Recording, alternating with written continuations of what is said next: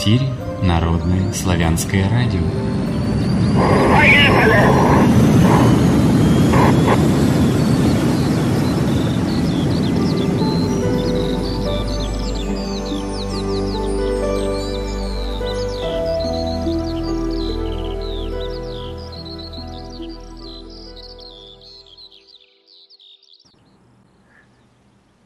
Вами Народное славянское радио. Сегодня у нас по одному из современных календарей 10 августа 2016 года среда, по одному из старинных 40 день месяца пробуждения, получения даров природы 7524 лета шестица. Методы фальсификации предметов культуры и искусства Часть пятая, такова тема сегодняшнего нашего живого эфира. Главный ведущий Феденко Леонид Григорьевич. Здравия, Леонид Григорьевич. Здравия, Алексей. Здравствуйте, уважаемые радиослушатели. Значит, мы сразу выложили ссылки на те картинки, фотографии, которые будут обозначаться, по которым будет проводиться эфир. Для, для того, чтобы их видеть, вам нужно просто зайти в анонс Народного славянского радио. Но если вы в записи слушаете, то уже, естественно, э, не в анонс, а в запись на странице Народно-славянского радио, где эфиры написаны. И там будут представлены также все ссылочки на те фотографии, которые будут нами обсуждаться, про которые мы будем говорить. Просто загружаете нужную вам ссылку, и после этого смотрите фотографию, любуетесь ею и слушаете, что про нее будет Леонид Григорьевич рассказывать. Я вступление свое краткое закончил. Пожалуйста, передаю микрофон, можно начинать. Благодарю, Алексей. Еще раз э, добрый вечер всем. Э, это у нас добрый вечер, в других э, регионах, может быть, и другое время. Здравия. Значит, мы продолжаем наш эфир по высказанной ранее и анонсированной в анонсе тематике. Это у нас уже пятая беседа. Значит, сейчас я прошу радиослушателей немножко собраться и где-то пять минут – внимательно послушать. Я вам сейчас зачитаю интересный материал. Возможно, кто-то этот материал даже знает. Значит, он оживит. А после этого я э, э, прокомментирую его. Название. Послание Ивана Грозного английской королеве Елизавете I. Текст сам. Некоторое время тому назад брат твой король Эдуард послал несколько своих людей, Ричарда и других, для каких-то надобностей во всем странам мира и писал ко всем королям и царям, и властителям, и управителям. А на наше имя ни одного слова послано не было.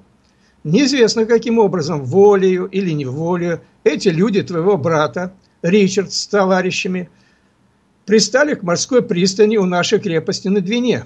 Тогда мы, как подобает государям христианским, милостью оказали им честь, приняли их и угостили их за государем парадными столами, пожаловали, отпустили к твоему брату. А затем приехал к нам от твоего брата тот же Ричард Ричардов и Ричард Грей. Мы их тоже пожаловали и отпустили с честью. И после того, как к нам приехал от твоего брата Ричард Ричардов, мы послали к твоему брату своего посланника Осипа Григорьевича Непею. А купцам твоего брата и всем англичанам мы дали такую свободную жалованную грамоту, какую даже из наших купцов никто не получал. А надеялись за это на великую дружбу со стороны вашего брата и вас, и на верную службу всех англичан. В то время, когда мы послали своего посланника, брат твой Эдуард скончался, и на королевство вступила твоя сестра Мария. Спустя некоторое время она вышла замуж за испанского короля Филиппа. И испанский король Филипп и сестра твоя Мария приняли нашего посланника с честью и к нам отпустили. На поручение с ним никакого не передали. В то же время наши английские купцы начали совершать над нашими купцами многие беззакония и свои товары начали продавать по столь дорогой цене, какой они не стоят. А после этого стало нам известно, что сестра твоя, королева Мария, скончалась, а испанского короля Филиппа англичане выслали из королевства, а на престол посадили тебя. Но мы и в этом случае не учинили твоим купцам никаких притеснений и не предложили им торговать по-прежнему. А до сих пор, сколько не приходило грамот, хоть бы у одной была одинаковая печать, у всех грамот печати разные. И это не соответствует обычаю, принятому государей. Такими грамотами ни в каких государствах не верят. У каждого государя в государстве должна быть единая печать. Но мы и тут всем вашим грамотам доверяли и действовали в соответствии с этими грамотами. После этого ты прислала к нам по торговым делам своего посланника Антона Янкина. И мы, рассчитывая, что он пользуется твоей милостью, привели его к присяге и вместе с ним другого твоего купца, Ральфа Иванова – как переводчика, потому что некому было быть переводчиком в таком великом деле. И передали с ним устные, тайные дела великого значения, желая с тобой дружбы. Тебе же следовало к нам прислать доверенного человека, а с ним Антона или одного Антона. Нам неизвестно, передал ли тебе это поручение Антон или нет, а в течение полутора лет про Антона не было известий. А от тебя никакой ни посол, ни посланник не пребывал. Мы же ради этого дела дали твоим купцам свою новую жалованную грамоту, рассчитывая, что эти гости пользуются твоей милостью. Мы даровали им свою милость свыше прежнего. После этого нам стало известно, что Ругадив, в Ругадив, это город Нарва, комментарий, приехал твой подданный, англичанин Эдуард Гудеван – с которым было много грамот. И мы вели спросить его об Антоне. Но он ничего нам об Антоне не сообщил. А нашим посланникам, которые были к нему представлены, сказал много невежливых слов. Тогда мы велели расследовать, нет ли с ним грамот, и захватили у него многие грамоты, в которых для унижения нашего государства достоинства и нашего государства написаны ложные вести – будто в нашем царстве якобы творятся недостойные дела. Но мы и здесь отнеслись к нему милостиво. Велели держать его с честью до тех пор, пока не станет известен ответ от тебя на поручение, переданное с Антоном. После этого приехал от тебя к нам посланник в Ругадив, Нарву, комментируя. Юрий Миле, Милдентов по торговым делам. Мы его велели спросить про Антона Янкина, был ли он у тебя и когда он должен прибыть от тебя к нам. Но посланник твой, Юрий, ничего нам об этом не сказал. И наших посланников Антона облаял. Тогда мы также велели его задержать, пока не получим от тебя вестей о делах, порученных Антону. И, наконец, нам стало известно, что к Двинской пристани прибыл от тебя посол Томас Рандольф и мы послали к нему с жалованием своего сына Боярского и приказали ему быть приставом при после, а, пос, а послу оказали великую честь. А приказали спросить его, нет ли с ним Антона. Он же нашему сыну Боярскому ничего не сказал и начал говорить о мужиках и мужицких торговых делах, а Антон с ним не пришел. С того времени, как он пришел в наше государство, мы много раз ему указывали, чтобы он вступил в переговоры с нашими боярами и сказал, есть ли у него приказ от тебя о тех делах, о которых мы передали тебе с Антоном. Но он нелепым образом уклонился. Описал жалобы на Томаса и на Ральфа и занимался другими торговыми делами, а нашими государственными делами пренебрегал. Из-за этого-то твой посол и запоздал явиться к нам. А затем пришло Божье послание, моровое поветрие, болезнь. Э, это мой комментарий. И он не мог быть принят. Когда же Божье послание поветрие кончилось, мы его допустили перед свои очи. Но он опять говорит нам о торговых делах. Мы выслали к нему своего боярина и наместника Вологодского князя Афанасия Ивановича Вяземского, печатника своего Ивана Михайлова и дьяка Андрея Васильева и велели его спросить, есть ли у него поручение по тем делам, о которых мы передавали тебе с Антоном. Он ответил, что такого поручения с ним также имеется.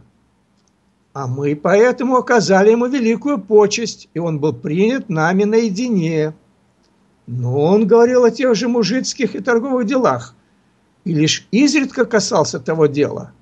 В то время нам случилось отправиться в нашу вотчину Вологду, и мы велели твоему послу Томасу ехать с собой. А там, на Вологде, мы выслали к нему нашего боярина князя Вяземского и дьяка Петра Григорьева и велели с ним переговорить, как лучше всего устроить между нами это дело. Но посол твой, Томас Рандольф, все время говорил о торговом деле, и едва его убедили и поговорить и о тех делах. Наконец договорились и о тех делах, как следует их устроить. Написали грамоты и привесили к ним печати. Тебе же, если тебе это было угодно, следовало бы таким же образом написать грамоты и прислать к нам в качестве послов достойных людей, и с ними вместе прислать Антона Янкина. Прислать Антона мы просили потому, что хотели его расспросить. Передал ли он тебе те слова, которые мы ему говорили? Согласна ли ты на наше предложение? И каковы твои намерения? Вместе с твоим послом послали своего посла, Андрея Григорьевича Савина. Ныне ты к нам отпустила нашего посла, а своего посла с, с ним ты к нам не послала. А наше дело ты сделала не таким образом, как договорился твой посол. Грамоту же ты послала обычную, вроде как проезжую. Но такие дела не делаются без клятвы и без обмена послами. Ты совсем устранилась от этого дела. А твои бояре вели переговоры с нашим послом только о торговых делах. Управляли же всем делом твои купцы Ульян Гаррит и сэр Ульян Честер. Мы и думали, что ты в своем государстве государыня и сама владеешь и заботишься о своей государевой чести и выгодах для государства. Поэтому и затели с тобой эти переговоры. Но видно, у тебя, помимо тебя, другие люди владеют. И не только люди, а мужики торговые. И не заботятся о наших государских головах и о чести и выгодах для страны, а ищут свой торговый, свою торговую прибыль. Ты же пребываешь в своем девичьем звании, как всякая простая девица. А тому, кто хотя бы и участвовал в нашем деле, да нам изменил, верить не следовало. И раз так, то мы все дела отставим в сторону. Пусть те мужики, которые пренебрегли нашими государскими головами и государевой честью и выгодами для страны, озаботятся о торговых делах, посмотрят, как они будут торговать. А московское государство и без аглицких товаров не бедно было. А торговую грамоту, которую мы тебе послали, ты прислала бы нам. Даже если ты не пришлешь эту грамоту, мы все равно по ней ничего делать не будем. Да и все наши грамоты, которые до сего дня мы давали в торговых делах, мы отныне за грамоты не считаем. Писано в нашем московском государстве в году Сотворение мира 7079, 24 октября. Вот такая информация. Вопрос. Как видите, вопрос следующего порядка. Почему я привел, во-первых, эту грамоту, да? А привел эту грамоту неспроста. Если вы почитаете комментарии к этой грамоте, которые пишут историки, то там совершенно иное понимание, чем я сейчас вам расскажу. А именно, это, во-первых, вы, э, стиль написания этой грамоты. Иван Грозный пишет э, Елизавете I, королеве Великобритании, как своему вассалу. То есть, кто такой вассал, если вспомните из истории? Кто подчинен это 1570 год датируется современным стилем. 24 октября 1570 года. А как видите, в конце подписывали 7079 лето. То есть Никакого 1570 года не было, а действовал повсюду один календарь, в том числе и переписки о сотворении мира в звездном храме. Далее. Все написано эта грамота на русском языке. Это говорит о том, что королева совершенно хорошо понимала по-русски. Кроме того, в грамоте видно, что тот, кого посол, который называет Антон Янкин, Иван Грозный, передал на словах какую-то информацию. Если вы почитаете, какой бред пишут по поводу этого историки, что якобы Иван Грозный хотел сбежать э, и жениться на, на значит, и делал ей предложение. А вот если проанализировать тот факт, что существует, и, вернее, дополнительно, есть карта, к сожалению, я э, ее не нашел к нашей беседе, она значит, в архивах. Но вообще есть атлас Меркатора 1610 года. Вы можете найти его, и там есть карта Англии написана, да? 1610 год. Здесь события 1570 года. И там в верхней части Англии, там, где Шотландия, написано «Руссия». А что такое Шотландия? Это только для нас, для русских, говорят слово «Шотландия» северная часть Великобритании нынешней. А по-английски это Скотленд. Скот, понятно что. А ленд по-английски земля. Земля скотов. А по-русски будет скот лань. Лань – это земля. Земля скотоводов. А нам переводят Шотландия. И написано там, где Шотландия, Руссия, как я уже сказал. Дальше. Если вы э, вспомните, э, что Иван Грозный родился в 1530 году, а в 1530 году орды Джунгар разрушили столицу Асгард-Ирийский, славяно-арийской ведической империи. Прошло 40 лет – и вот Иван Грозный, который пытается восстанавливать ведические традиции московской Тартарии, которая в 1380 году начала откалываться от, Вели... от Тартарии и стала отколовшейся провинцией, герцог... герцогством, которое так на картах и помечается, Московия, Московское герцогство. На всех картах так и написано – и тем не менее Иван Грозный разговаривает с королевой Великобритании, как нам рассказывают, Британия, владычица морей, мировое, мировое господство, да, как с вассалом. И говорит о том, что было какое-то дело, которое надо было обсудить. Но прошли изменения.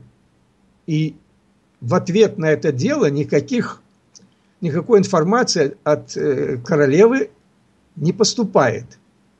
И Иван Грозный делает вывод, что значит, это дело не простое, а государственное дело. И вводит, как мы понимаем, как бы сейчас сказали, на современный манер, вводит санкции торговые, о чем он и говорит в конце по грамотам которые он отменяет. Еще один момент. Вот, значит, сейчас мы будем... Э, да, это я вроде все изложил, что хотел. А теперь, э, пожалуйста, откройте первые три рисунка. У меня они под номерами, первый, второй и третий. Вот это для чего я сделал такое вступление? Про Англию, да? Перед вами, значит, э, миниатюры. Так они называются, миниатюры. А вообще это миниатюры из Евангелия, из Линдесфарна. Как пишут историки, это иллюстрированная рукописная книга, которая содержит тексты Евангелия от Матфея, Марка, Луки и Иоанна на латинском языке. И якобы книга издана и создана, вернее, создана э, в Линдесфарне, это Нуртумби, это так часть э, э, значит, э, нынешней Великобритании, или называлась тогда в 7-8 веках. И вот что они пишут об этом манускрипте. Этот манускрипт является очень ярким представителем группы так называемых островных Евангелий, рукописных книг, созданных ирландскими, в скобках, кельтскими монахами в 7-9 веках и содержит множество миниатюр, выполненных в кельтско-англосонском стиле. И вы, мы сейчас как раз и переходим, к, так сказать, я перехожу к изложению темы, которую мы заявили – я хочу пояснение маленькое дать. Я специально в анонсе разместил не только отдельные ссылочки на фотографии, но и ссылку на всю папку. И там как раз они по порядочку идут, и можно нажимать на каждую из этих э, ссылочек, и будет открываться отдельная фотография и пролистывать вправо-влево. Так, наверное, будет даже удобней. Отлично, благодарю, Алексей. Вот. И вот если вы откроете первый рисунок, да, а потом перейдете ко второму, то на первом рисунке разница, между первым и вторым рисунком есть разница. Там изображен какой-то персонаж, назовем его монахом, а на втором ничего нет. А вот э, на третьем рисунке я сделал часть второго рисунка, э, выделил кусок, э, значит, его преобразовал в черно-белый, и увеличил, для того, чтобы можно было увидеть, что же на нем нарисовано.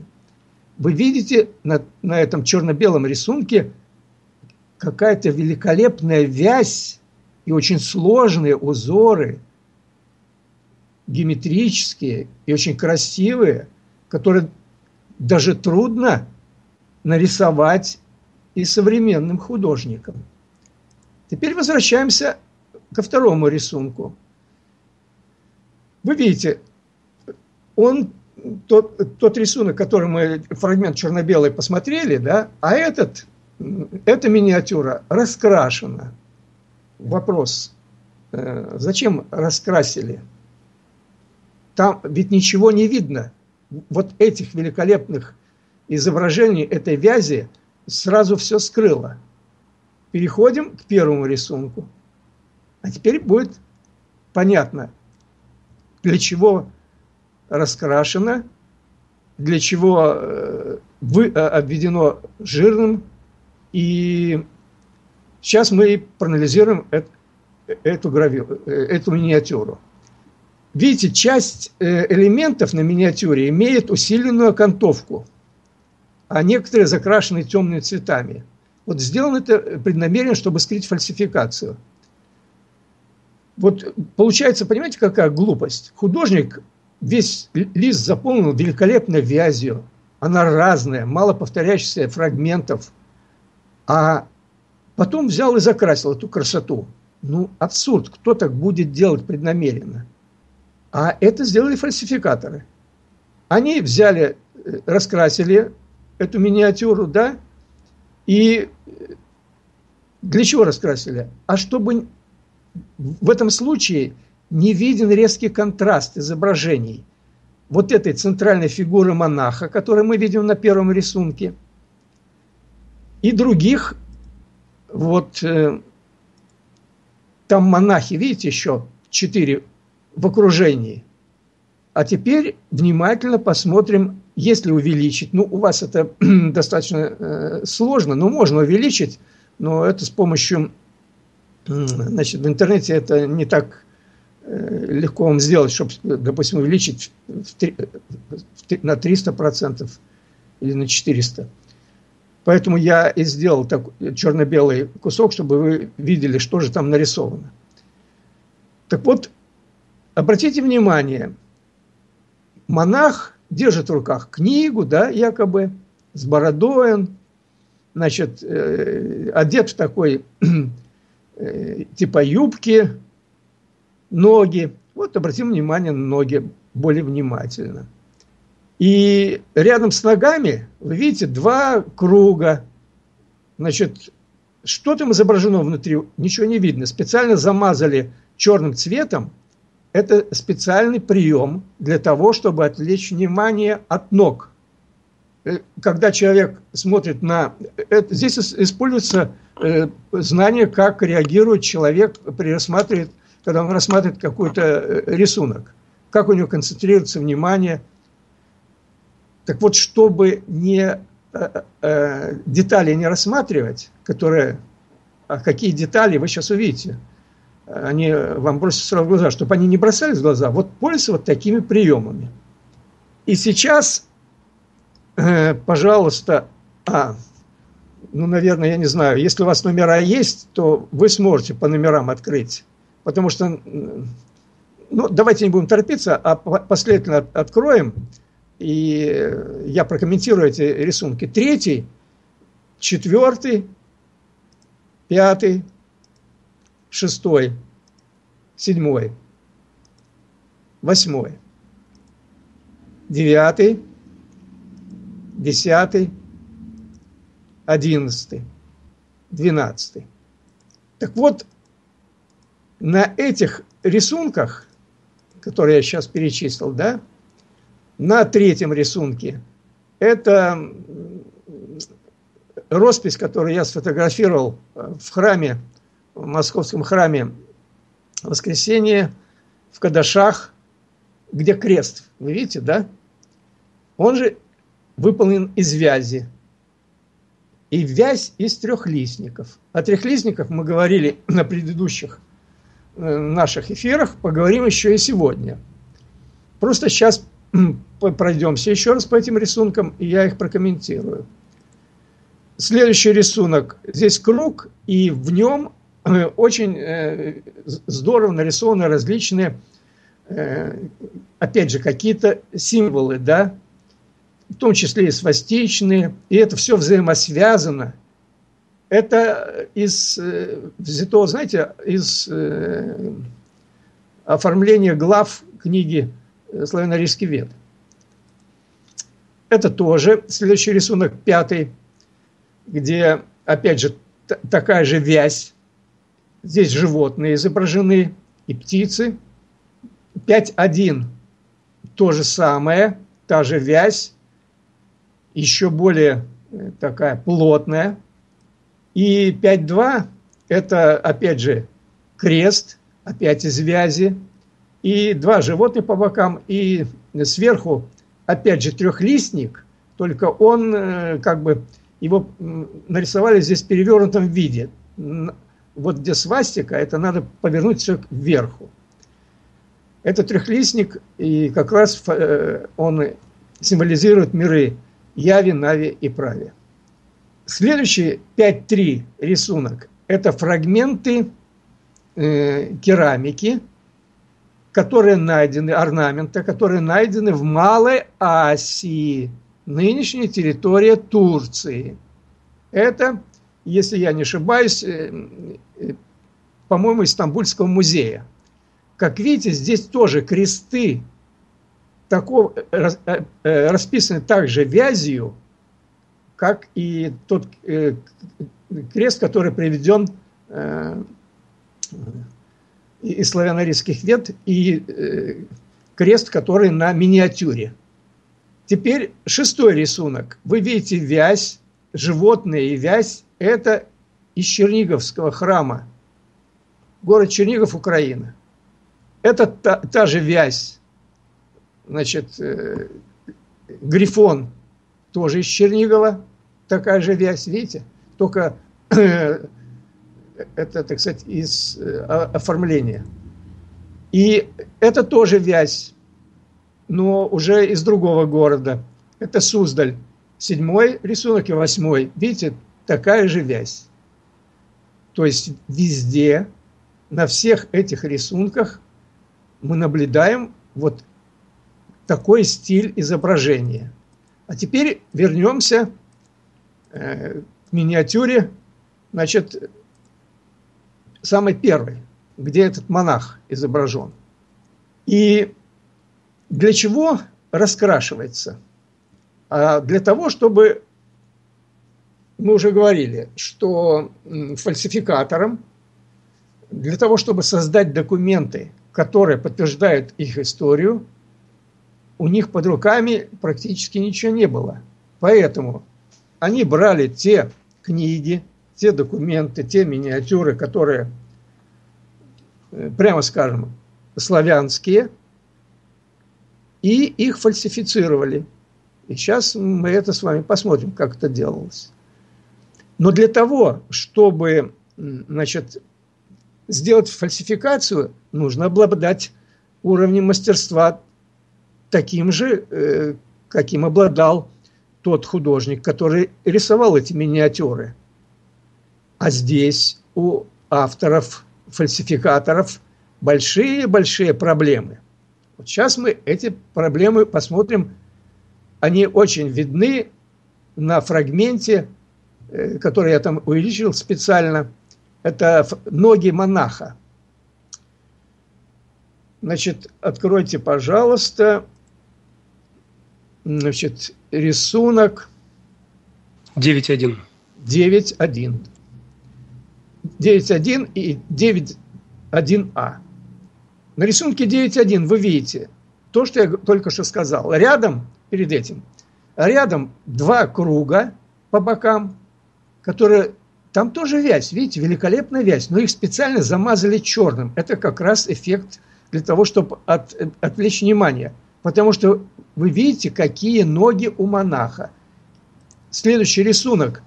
Я сделал эти ноги 9-1 э, А черно-белым. И если вы его увеличите, увидите, что ноги собраны из кусочков вязи. Там какие-то кружки на ступнях босых. Они из частей. Ужасные просто. То есть фальсификаторы – были вынуждены рисовать детали, руки, ноги, книги, одеяния из тех фрагментов миниатюры, из той вязи. А уж как у них получилось, вы наблюдаете сейчас сами. Это еще не самые худшие ноги фальсификаторов. Если мы сейчас откроем с вами рисунок 9.2, здесь вообще замечательные ноги. Посмотрите. Это просто ужас какой-то. Опять же, они, но понятно, как они их создали. Они создали из кусочков этой же вязи. Ну, как получилось, так получилось. Снизу, э, посреди, одна нога слева, другая справа, посередине часть креста, да, и посмотрите, какая великолепная вязь в кресте, да, и посмотрите на ноги. А теперь 9.3, еще очередные ноги фальсификаторов – которые не, это ноги внутри гравюры, а это вне. То есть, если вы посмотрите эту гравюру целиком, то есть э, вернетесь к первому рисунку, э, извините, не к первому я ошибся, сейчас я скажу, к какому рисунку надо вернуться, минутку. Откройте, пожалуйста, рисунок 9. Если открыли, то видите – Здесь тоже изображен только другой монах на этой миниатюре. Это, это миниатюра из той же э, серии, этого лицфарского э, Евангелия, якобы в кавычках. И там уже, он, видите, монах держит книгу, сидит в кресле таком, и ноги монаха, который вот э, сидит в кресле, я вам только сейчас показал, а вторыми, э, с крестом ниже, ноги, которые выходят за рамки вот этого обведенного рисунка. А свер, э, с, боков, слева и справа еще есть кресты, да, четыре креста. Сверху, внизу, слева и справа. И где слева и справа, там руки торчат. А э, над крестом сверху еще и голова торчит, только она не захвачена полностью. Такую фотографию дали в сети. То есть, вы посмотрите, какое убогое представление, других слов я не могу придать, примитивное представление, то есть нарисовали монаха внутри, а тут, может, Господь Бог их какой-то, они нарисовали, ему ноги еще отдель, отдельно, и руки по, по сторонам, и голова. Какой примитивизм в изложении того, что хотят они донести по сравнению с этой вязью, которая расписана миниатюра. То есть, как видите, чтобы создать какой-то образ, который они хотят там э, нарисовали, ну, конкретно монаха, да, они взяли и, значит, э, раскрасили, во-первых, миниатюру. Раскрасили для того, чтобы при раскрашивании скрыть ну, те вещи, которые мне не нужно. И при раскрашивании э, нарушается целостность картины, воспринимая зрителей, зрителям. Вот зритель как бы вынуждает рассматривать картину по частям. А раскрасив рисунок разными цветами, они еще, понимаете, добились чего? Что из, из, исчезла объемность в изображении вязи, и исчезли детали. Вот если бы эти рисунки не были раскрашены, то вот все, что я говорю, вот эта фальсификация была бы просто очевидна. А вот когда они стали вписывать одежду, там части тела монахов, они вынуждены э, пользоваться техникой, приемами, которой пользовался художник, который создавал миниатюру. Но у них, как видите, что получилось, то и получилось. Рассмотрев ноги монаха, мы убедились, какой уровень квалификации был у тех монахов, которые, э, так сказать, фальсифицировали эту гравюру. И вот, я, как я уже сказал, вот поражает вот именно примитивное воображение, с которым вот фальсификаторы э, изобразили вот по краям вот этой миниатюры девятой, да, голову, руки, ноги еще одного монаха или там Господа Бога, не знаю, кого они там изображали, оставив за кадром его тело. Вот теперь э, вот что хотел бы я добавить. Понимаете, вот ведь они показывают только сами миниатюры, потому что кельтский, э, так сказать, Евангелие, кстати, о кельтском Евангелии – кельты, вообще термин кельты появился, знаете, когда? Э, в 17 веке англичане придумали. До этого народы, которые пришли в Европу, называли галами.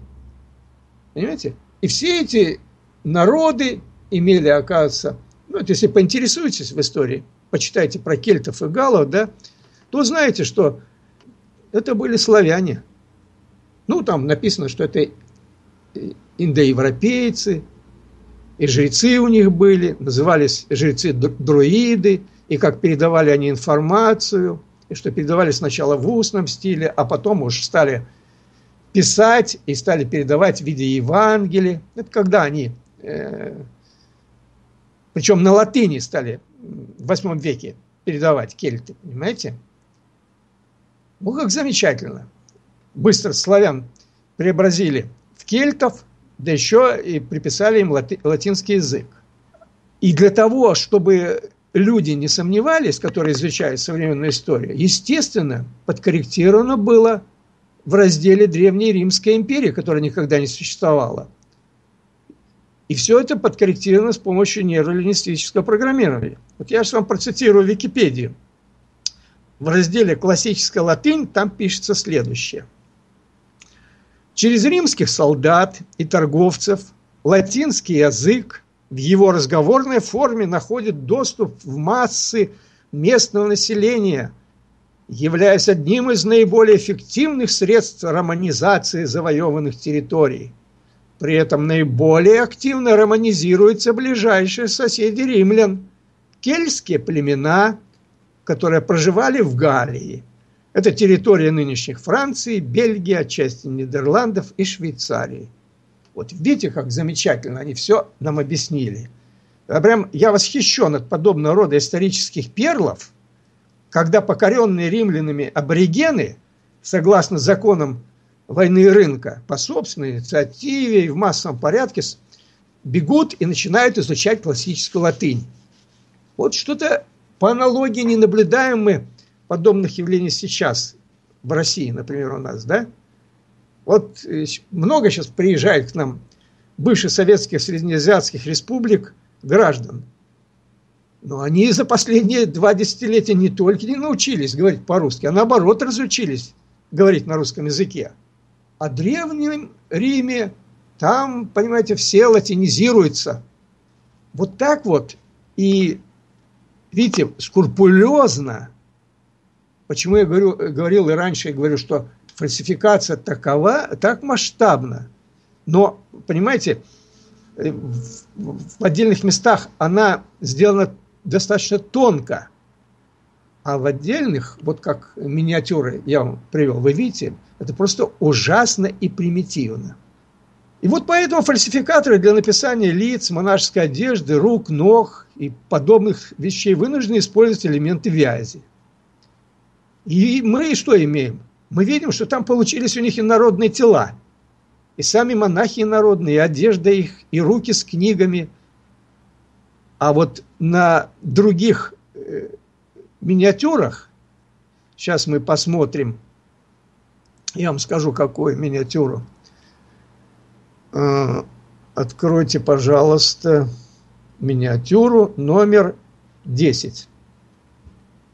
Это та, которая э, на анонсе приведена. Здесь вообще шедевр кельтских монахов. Как видите, надписи, причем сами надписи ужасные. И принцип соблюдается, фальсификация один и тот же, видите? Жирно выписаны какие-то буквы. Причем, если вы будете смотреть латинский язык, то вы не найдете подобных в каллиграфии, чтобы так писали эти буквы. Но это по латыни все. И там ученые вам прокомментируют и скажут, да, это все на латыни, э, читайте, мы вам сейчас все объясним.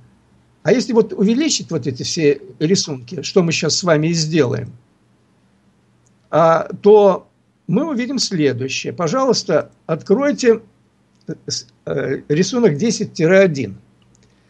Это вот увеличенный фрагмент, я увеличил фрагмент э, вот этой миниатюры, 10 и очередного монаха. Видите, у него в руках книжка, оказывается, с каким-то э, черным э, содержимым, не знаю. И принцип все тот же самый.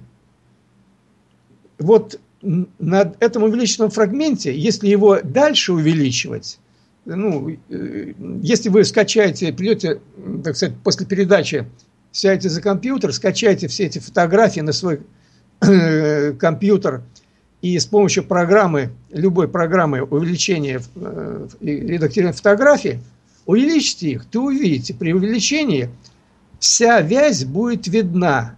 На одежде монаха, значит, э, внизу, на ногах и, и так далее.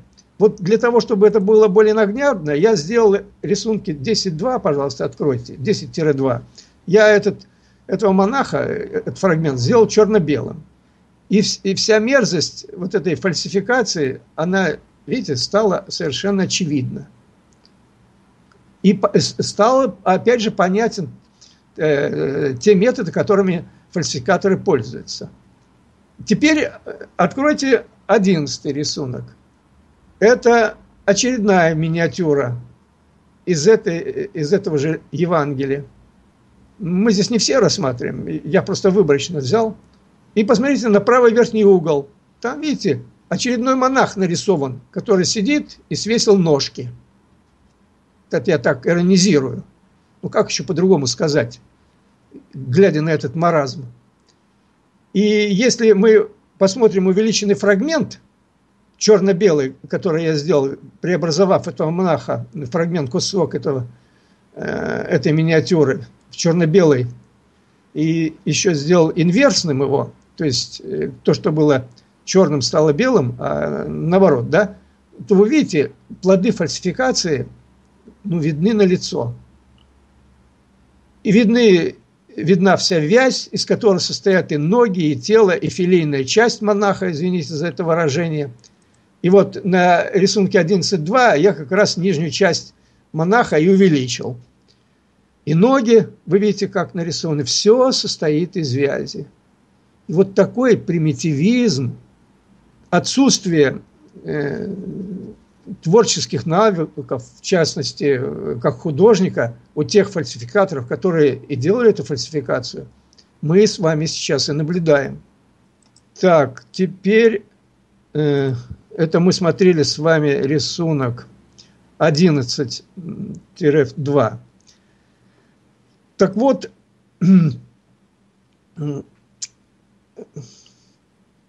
если вернет, вернуться к, значит, к латинским шрифтам, да, латинским буквам, то посмотрите, пожалуйста, э, вернемся к рисунку.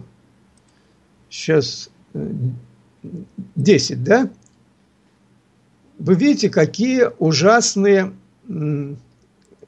ужасная каллиграфия, ужасный шрифт. Разного размера, естественно, потому что им надо было вписать эти слова в ту э, вязь, которую значит, э, они э, использовали.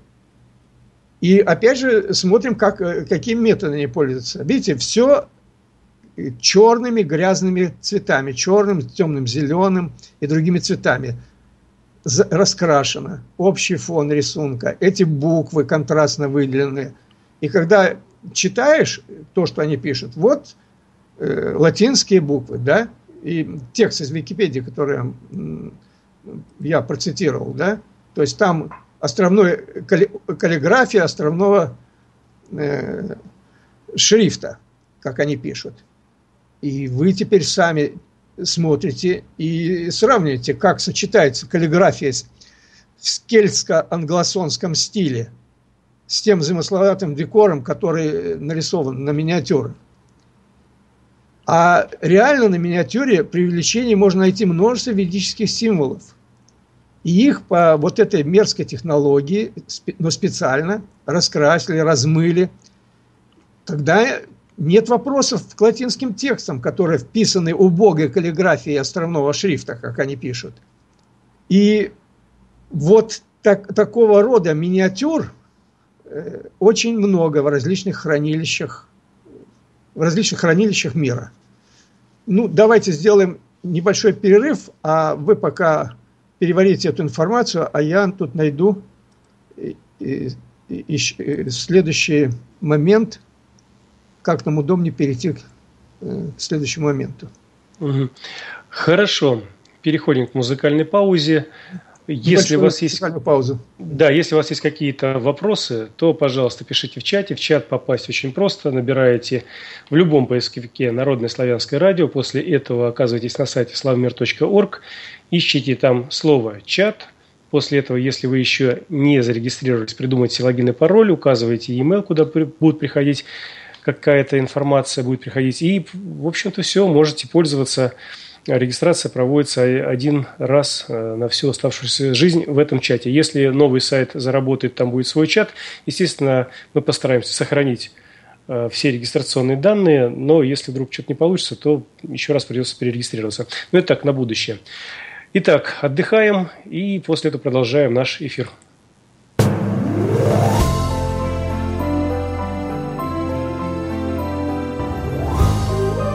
Вы слушаете Народное славянское радио.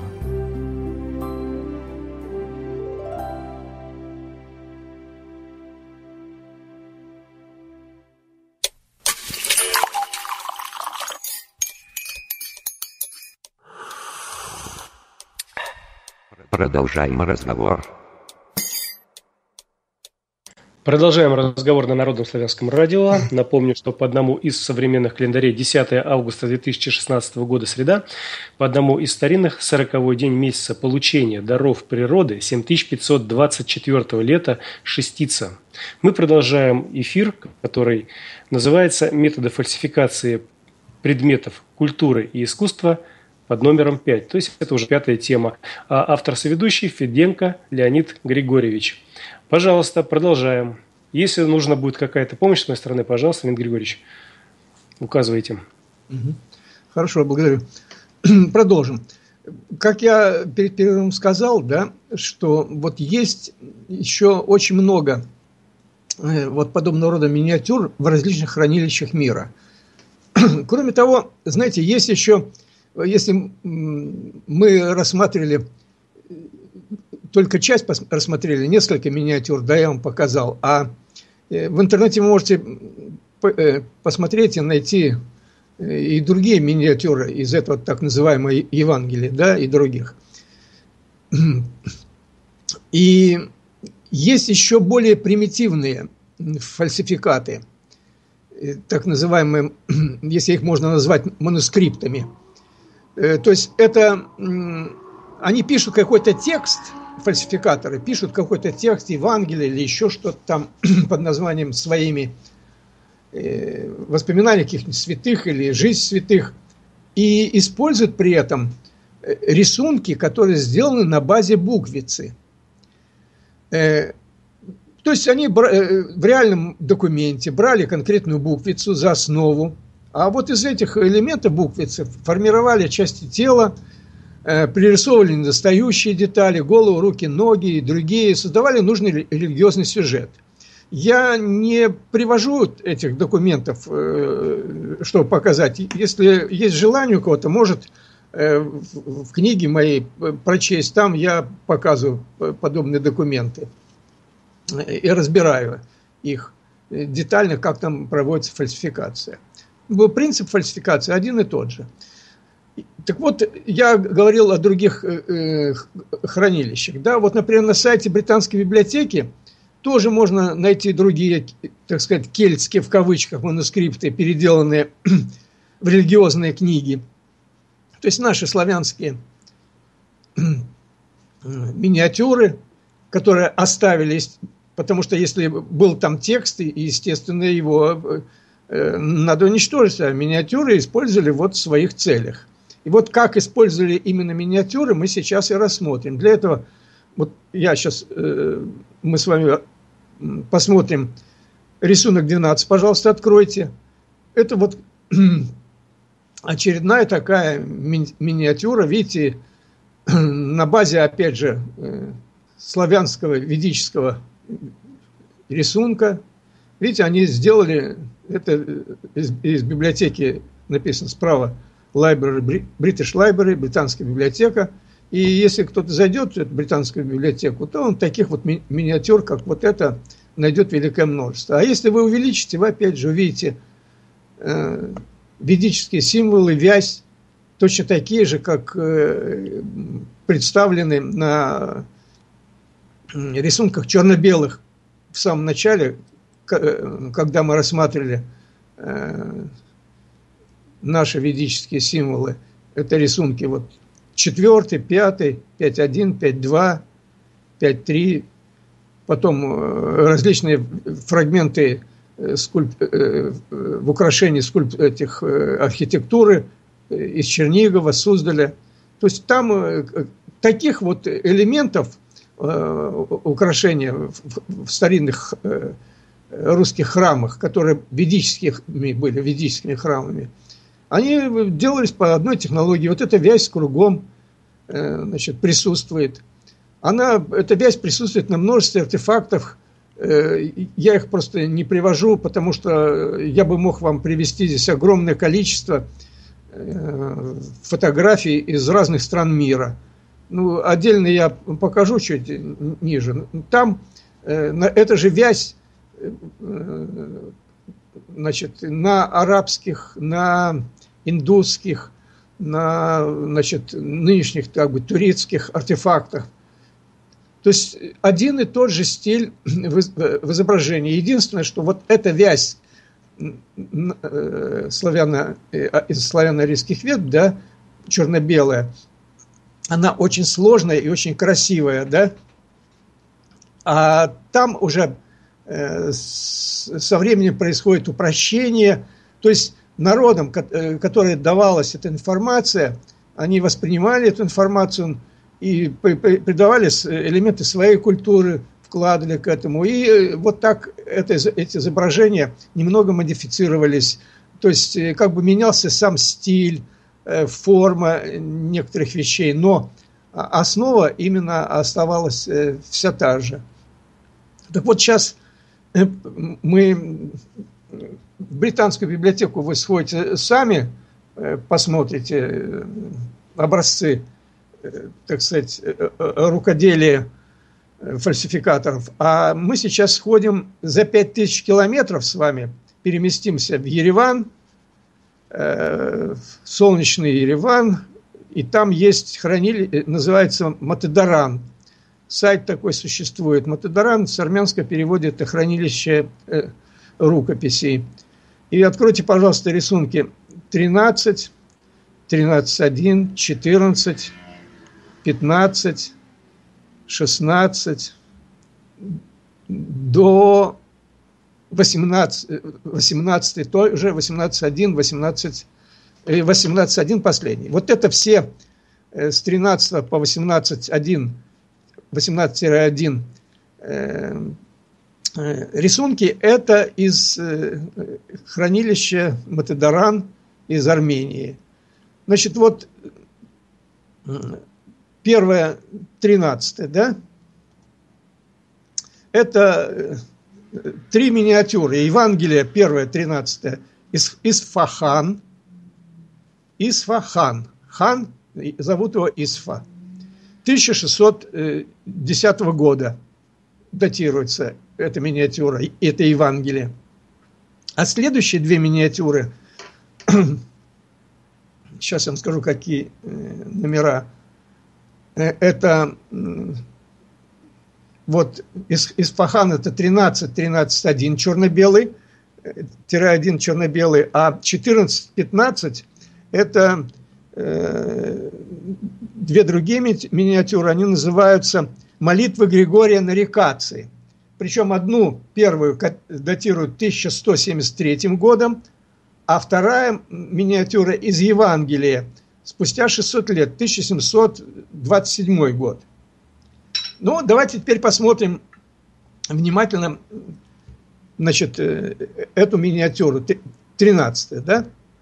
Видите, называется э, Исфахан. Здесь, опять же, нарисован э, якобы человек, который что-то пишет, и если вы увеличите, я обращаю ваше внимание на его руку, и он держит там ручку и что-то пишет. И как э, ручка, нарисованная рука, и где находится рука между пальцами.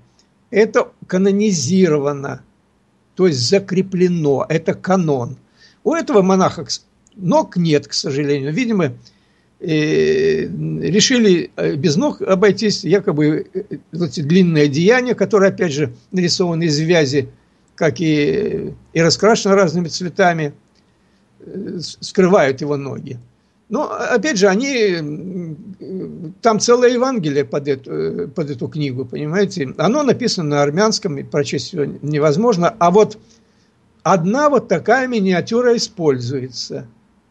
Теперь, если мы посмотрим черно-белое изображение, кусок, который я э, этого э, из Фахана выделил, да, и сделал черно-белым. И посмотрите, как рука, видите? Э, держит ручку. Слева, видите, они нимб сформировали вокруг головы, да, замазали его. И, а там, если увеличивать, под этим нимбом опять же вязь. Они ее скрыли. И так всюду. Вот эта же технология, как э, в кельтских Евангелиях, вы видите, один в один используется только уже в другом хранилище – на расстоянии 5000 километров. Это не случайно. Это говорит о том, что это делалось под чьим-то руководством. И чуть ниже э, мы еще рассмотрим артефакт из Ватикана. И вы увидите, что технология одна и та же из Ватикана. И контролировалась, опять же, из Ватикана. И в анонсе я об этом указал, что вот эта фальсификация проводилась под тщательнейшим контролем. И история писалась. И, как видите, даже графически, как пытались они, ну как у них получилось, вы видите, что получилось. Монахи с их ногами и руками И вот мы сейчас обращали внимание на этих миниатюрах на ноги, а сейчас обратим на руку и ручку. Так вот, переходим теперь к 14 рисунку. Это молитва Григория Нарекации. Вот это 1173 14 рисунок. А э, следующий рисунок, 15 это, опять же, Евангелие то же самое, только уже спустя 600 лет. Так вот, если вы увеличите эти два рисунка и посмотрите, та же самая технология, та же вязь, которая есть, такие же ноги уродливые, также сфабрикованы по тем же принципам и на одном, и на, и на, втор, на первой, и на второй миниатюре, из таких же кусочков слеплены. И очень четко видно это. И самое интересное, обратите теперь на руку, ручку, которую он пишет, да, на всех трех рисунках, и на Исфахан, и независимо на дату, и разницу в 600 лет, полностью соблюдена один в один канонически, как писать, как писать эту руку. Вы представляете, до каких деталей было все стандартизировано у них, чтобы не дай, как говорится, Бог, чтобы э, взял да переписчик не так нарисует. А сюжет, видите, один и тот же. А э, на всех трех этих миниатюрах вязь кругом, по... она же вязь и внутри. И э, еще один факт, э, по которому видно фальсификация, на, на чем прокалываются, скажем так, фальсификаторы. Видите, вот одежда у них объемно изображена, да? Потому что наши предки вообще рисовали объемное изображение. А в то же время дома, смотрите, как получились, примитивные, плоскостные.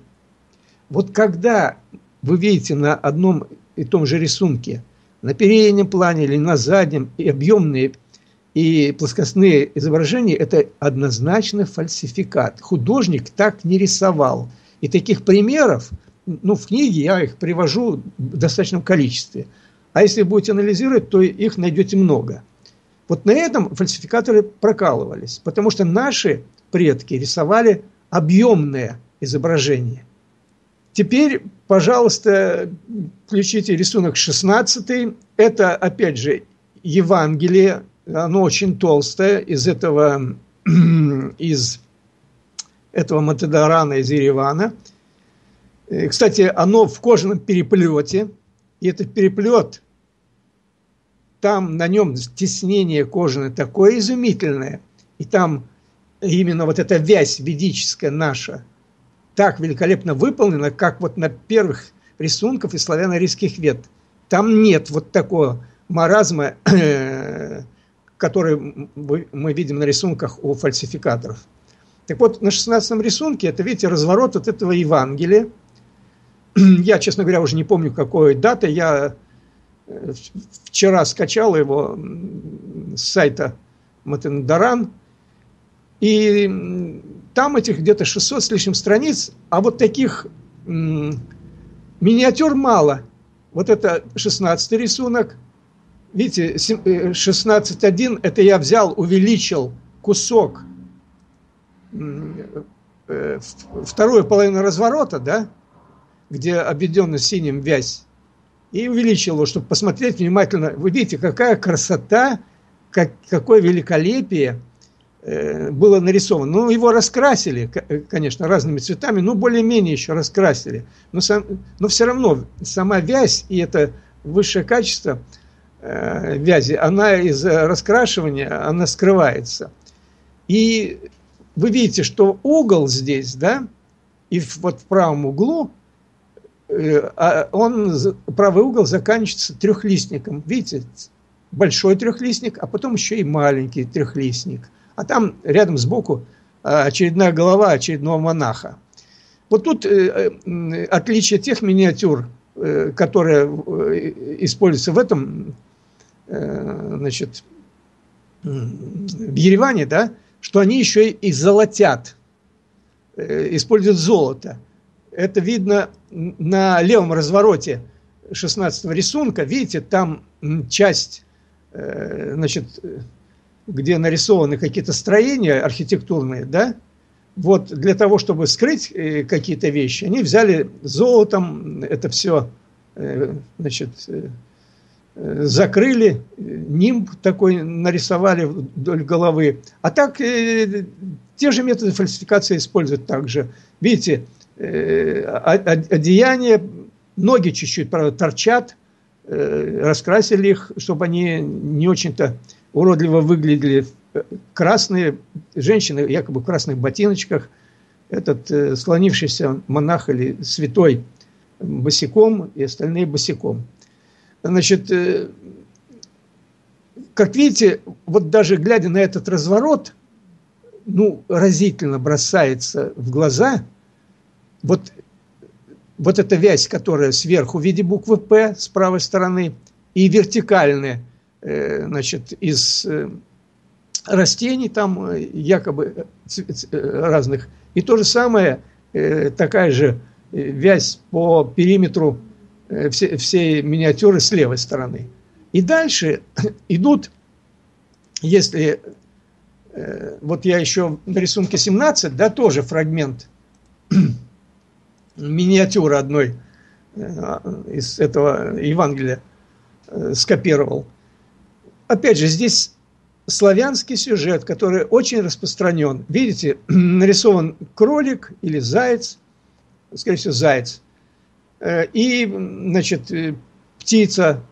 И это известный сюжет, который называется «Терзание жертвы». Да? Вот этих, э, этот сюжетов я в книге своей привожу и показываю очень, очень много.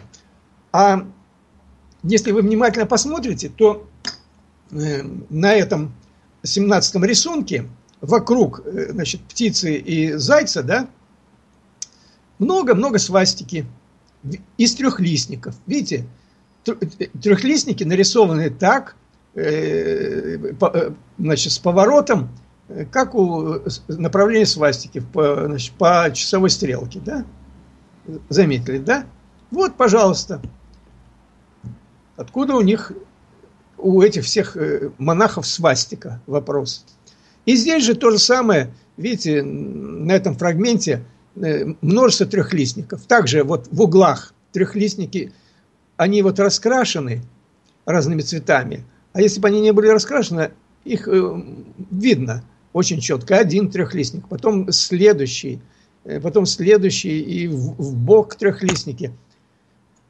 Понимаете, Э, я уже говорил, что такое трехлистник. Это, и, и дальше чуть-чуть скажу, это э, ведический символ, который, э, значит, в том числе, значит, под этим символом показываются миры Яви, Нави и Прави. Об этом чуть-чуть позже я еще скажу. Значит, и вот рисунок 17.1 увеличенный, я сделал рисунок, фрагмент вот этой сцены терзания. И здесь вот свастики вообще, видите, великолепно э, видны в виде э, вот свастика из трехлистников. Ну вот зато если посмотреть 17 рисунок, где еще картинка не увеличена, то да. мне это напоминает, вот помните, это мультфильмы Советского Союза «Карусель». Да, да, да, да, да. Вот и все те же элементы. Такие же, да, все вы очень же. четко э, уловили идею. Потому что это на генетическом уровне у нас. Это, это видно. То есть это у нас, даже мультипликаторы, они на уровне генетики вот это все и рисуют. Именно э, и используют. Э, и они к тому же художники, они изучают наследие. И, и правильно вы подметили в мультфильмах и применяют именно э, э, этот стиль. А видите, какой он древний у нас. Понимаете? Теперь мы давайте переключимся но на рисунок 18. Да? Вот 18 и рисунок 18-1 это вот разворот из этого же Евангелия, э, о котором только сейчас мы говорили, только другие, э, другие страницы. Да? Видите, там они, ну, что смогли, то и нарисовали. Как смогли, так и нарисовали те сюжеты, э, о которых они описывают вот на армянском языке христианские сюжеты. А с правой стороны, э, на левом развороте, вы видите чисто ведический символ. Я его взял, и, и, с, это, и на правом развороте свастика такая нарисована, и трехлистник. Видите, трехлистник вверх и трехлистник вниз. А посередине такая, видите, цветочка свастика. А вот этот слева рисунок я на, на, увеличил, взял. На рисунке 18.1 вы видите, они тут золотом и, и его золочением раскрасили так. Вот сверху рисунок, э, трехлистник и вязь. Ну, вязь они, видите, как скрыли, они еще с синим цветом это все добавили. И вот раскрашивание, оно что делает? Оно убивает объемность в изображении. А вот 18.2 рисунок, это, значит, фотография рядом, это, вернее, на территории, э, в Палестине, на территории музея, исторического музея в городе Дамаске. И посередине, видите, э, изображение трехлистника. А это Палестина, еще дальше от, э, этого, от э, Англии, от кельтов, да? А слева и справа нарисованы львы с такими раздвоенными хвостами в виде трехлистников, да? И вот такие же точно львы нарисованы и, и есть изображения и в Суздале, и в Юрьеве Польском – я как раз в своей книге э, эти все фотографии привожу, и очень много. Там 900 иллюстраций, поэтому если вы посмотрите, к сожалению, в передаче мы все их тут, э, я вам показать не могу. Это только в книге 900 показал. Мог, конечно, показать и 3000, 5000. Ведь этих артефактов, я не знаю, десятки, сотни тысяч в интернете вы их найдете – и, и всюду одно и то же. Это наши славяно-арийские символы. Понимаете? Но их, видите, переделывают и э, говорят, это кельтские, э, латинские, латинским языком написано Евангелие. Вот так. Теперь, э, пожалуйста, откройте 18-3 э, рисунок. Это, это тоже совершенно свежий артефакт. Э, совсем недавно мне попалась статья, и там, значит, бронзовый ремень 4 века нашли в Англии. Ну, там в этой статье э, можете почитать про, там не только про ремень. Так вот, опять же, 4 век, видите, в Англии. Про Англию мы с самого начала про передачу говорили. И здесь что? Здесь те же, те же самые трехлистники – вот они и где пряжка ремня, и отдельно нарисован еще фрагмент, тоже трехлистик, он горизонтально нарисован. То есть, видите, одна и та же символика, один и тот же символ Яви, Нави, Прави. То есть, кругом ведическое мировоззрение, которое несли наши предки во все, по всем направлениям, куда они перемещались, и несли эти знания. А теперь вот переместимся после этого э, рисунка. Откройте, пожалуйста, рисунок 19 и 19.1. Вот рисунок 19 – это ватиканский артефакт. Я его э, значит, рассмотрел, нашел в Ватикане, и, значит, в книге привел. И вы видите, что пишут по этому поводу. Это называется «Панорама вида Рима» от Евклида – Называется раздел «Геометрия» и нарисован на бумаге в 1457 году.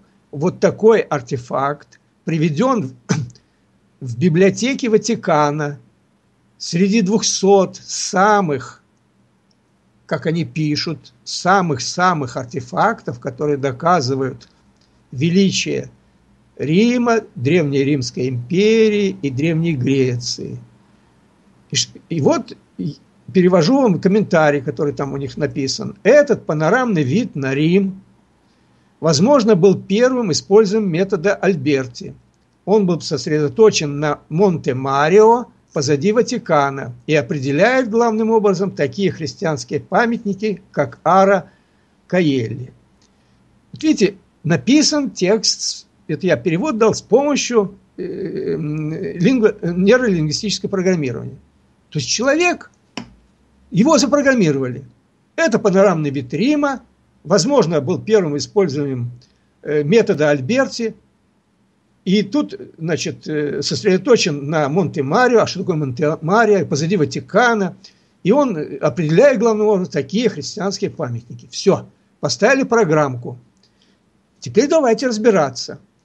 То есть фальсификаторы с помощью нейролингвистического программирования, ссылаясь на итальянского теоретика и архитектора Леона Батиста Альберти, который вот именно жил вот в этом где-то 1450-е годы, если в истории поищете, и ссылаясь еще на геометра Евклида, приплес... ну даже приплести-то, потому что речь идет о панораме Рима, который они якобы показывают в этом э, на 19 рисунке, да, и они доказывают, что на рисунке изображен панорамный вид на Рим.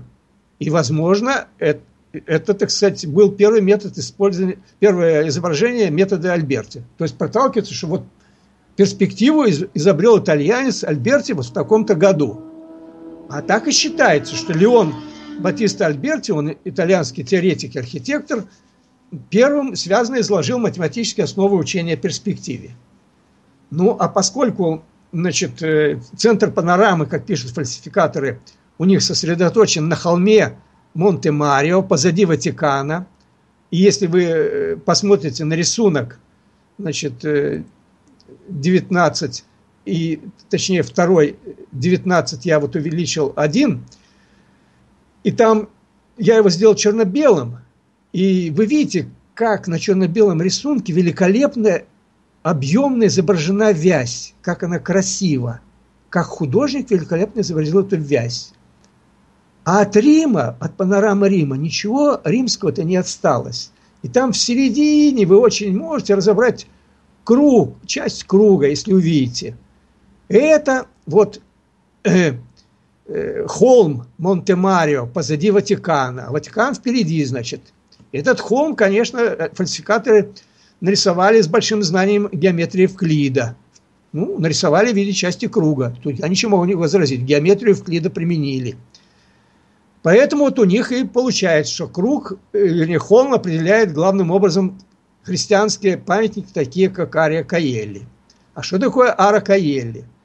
Здесь идет речь, во-первых, сначала э, это базилика Святой Марии в Риме. И вид вы можете найти на любом сайте, на русском язычном или там другом, в Википедии. А вот поскольку они же еще говорят, что, э, как здесь написано, э, он был сосредоточен на Монте-Марио позади Ватикана. А Монте-Марио – это самый высокий холм в современном городе Рима. И хотя этот холм не является одним из пресловутых семи холмов Рима, как историки считают, поскольку он находится за пределами территории древнего города, ну, фальсификаторы, как говорится, что смогли, то и притянули за уши для того, чтобы определить главным образом христианский памятник, как Ара Каэли. А Ара Каэли, как я уже сказал, это здание, базилика Святой Марии. И вот если человек бывал в Риме, или хотя бы посмотрел фотографии базилики где-нибудь там на сайте, да, в интернете, то надо, знаете, иметь очень-очень богатое воображение, чтобы обнаружить вот это сооружение на предлагаемом артефакте, который нам фальсификаторы предлагают. И вот э, если вы вернемся мы к 19 рисунку, да, то вы увидите, что, опять же, вот эту всю вязь великолепную, да, и в левом углу, опять же, трехлистник этой вязи, да, они взяли и раскрасили такими грязными цветами, чтобы то, что они фальсифицировали на каком-то э, рисунке старом, а это, э, скорее всего, э, какой-то один из миниатюры, какой-то рисунок русского города, который они попытались переделать значит, в Древний Рим. Видите, там раскрасили желтым цветом крыши, ну, поскольку в Италии там черепичные желтые крыши – Поэтому они э, готические эти попытались сделать. Но там готика-то, я уже в предыдущих э, эфирах и в книге писал, что готика это пирамидальные, эти верх, э, они повсюду были и в Великой Тартарии, и, значит, и в Москве, и этот готический стиль появился задолго до того, как, как они пишут, готы пришли в Европу. И видите, здесь та же самая технология. Цветом сначала закрашивает, потом, э, чтобы убить вот эту вязь, которая великолепна, объемна. Кроме того, надо же пропихнуть свой сюжет, что это Древний Рим, чтобы мы э, согласились, да, нам пока Древний Рим, а и здесь он еще с, с помощью перспективы здесь показано впервые. Альберти же перспективу изобрел. Посмотрите, как написан текст внутри вот этой миниатюры. Огромная буквица синим цветом, буква «П», латинская, наша «Р», да, закрашена. Там тоже нарисовано. Буквицу наши всегда разрисованы. Если вы поинтересуетесь, есть книги по поводу буквиц, э, значит, как рисуют каллиграфию. Там э, определенные правила были у наших. Есть очень интересная книга, сейчас, к сожалению, я не, не вспомню. А, а, Ножникова, по-моему, автор э, русские значит, миниатюры, она там разобралась и показала, что вот какие и используются э, в русских миниатюрах, какие используются символы, какая графика. И, и показало, что вот эти вот э, вещи, которые мы сейчас с вами разбираем, это как раз именно наши миниатюры. И видите, какое. И здесь дальше вписано, опять же, текст разным миниатюрам нарисовано очень красиво, великолепно, а там что-то вписано, какие-то э, буквы заглавные, убогие, там помечены синим цифром – синими буквами какими-то, потом текст исправлены. Понимаете, вот великолепие одного и э, ну, слов даже не подбираю. Э, оформление, художественное оформление великолепное, а значит, тот, кто пишет, не умеет даже каллиграфически без ошибок красиво написать, вот это противоречие сразу, которое бросается в глаза. Но чтобы оно резко не бросалось, вот для этого и закрасили вот эту вязь. Иначе бы это, это вообще ужасающе смотрелось. Понимаете, вот то, что там написано и нарисовано ими, фальсифицировано. Теперь, пожалуйста, перейдите к 20-й миниатюре. 20 и 21 Рисунок 20-21. Здесь на э, рисунке, видите, э, опять же, красивая роспись, да, в виде, опять же, трехлистников, стилизованных, разных, и слева, и справа. А там уже вписаны э, те сюжеты, которые им надо было. Вписали нотные станы и какие-то э, тексты. То есть, э, вот таких вот фолиантов с нотами, текстами псалмов, песнопений, магнитифат, магнит, э, магнити, как они, зарапортовался. Магнитоф, магнитифакты, по-моему, называется. Магнитоф, ну, короче, песнопения э, все. Вот они их и переделали. Вот на 20-21 рисунке вот я как раз такие примеры привожу. В книге я еще больше показываю примеров. Да? А теперь посмотрите следующий рисунок. Это 20, 21.1. Это Москва, Новодевичий монастырь. Вот. И Смоленский собор, это я с фотографии сделал, значит, и сравните вот эти росписи значит, в Смоленском соборе, которые там нарисованы рисунки, и в этих двух фолиантов. Видите, вот а, совершенно одинаковая роспись. И те же трехлистники. То есть одно и то же, один и тот же стиль, и разнообразие, такое разнообразие, просто поражаешься. И точно э, чуть дальше еще я вам э, покажу. Такие же изображения вы найдете и в других храмах, и в том, в том же храме собора Василия Блаженства, Блаженного в Москве. Так вот, э, э,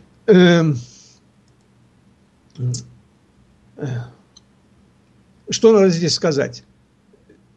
Вот культурологов и историков, которые вот пишут на все эти темы, да, ну, почему-то не удивляет э, то, что вот, э, когда они смотрят на вот эти артефакты, почему переписчик потратил столько труда на изображение орнамента, буквицы, картины. ну вот не смог так же красиво, аккуратно, без зачеркивания написать текст. А из истории известно, что католические монахи э, занимались перепиской древних манускриптов. Ну, при этом часто они выполняли заказы там курий, и пап и так далее. И вот если рассмотреть эти артефакты не только на виртуальной выставке Ватикана, вот который факт я вам привожу здесь, но и множество других артефактов. А на виртуальной выставке Ватикана э, там много еще таких же э, фальсифицированных миниатюр. И я в книге несколько их и привожу. А их еще и много и в других э, хранилищах. То везде общее мы находим. Там присутствует вязь и рисунки – и все это выполнено было до изобретения книгопечатания. И получается картина интересная, что есть множество документов с великолепным художественным оформлением, которые датируются за несколько веков до изобретения книгопечатания. И все эти документы находятся в разных странах, на огромном расстоянии друг от друга, но имеют одинаковые элементы орнамента, стиль, оформление. И в то же время на всех присутствуют ужасные тексты с ужасным качеством письма и исправлениями. Вот а это все говорит э, о чем? Четыре предположения я выдвигаю.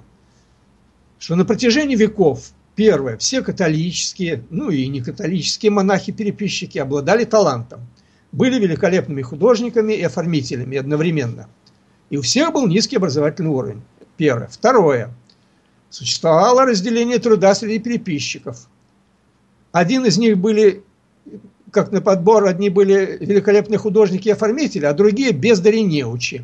И не могли даже э, вписать э, грамотно тексты с ошибками, без ошибок.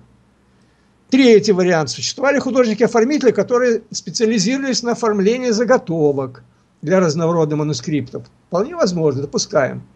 А вот четвертое – как мы э, определили с вами из анализа этого короткого даже, при изготовлении подобного рода артефактов, в кавычках, использовали и, и фальсифицировали реальные документы. Вот.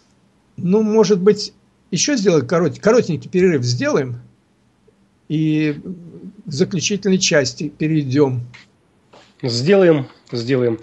Попросили, попросили. Как раз поищу. Да, в том музыкальном перерыве попросили что-нибудь побыстрее, повеселее. Я предложил, может быть, барыню с выходом.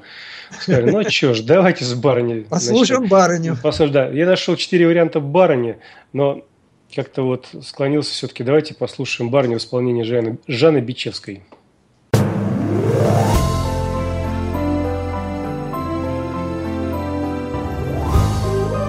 Вы слушаете Народное славянское радио.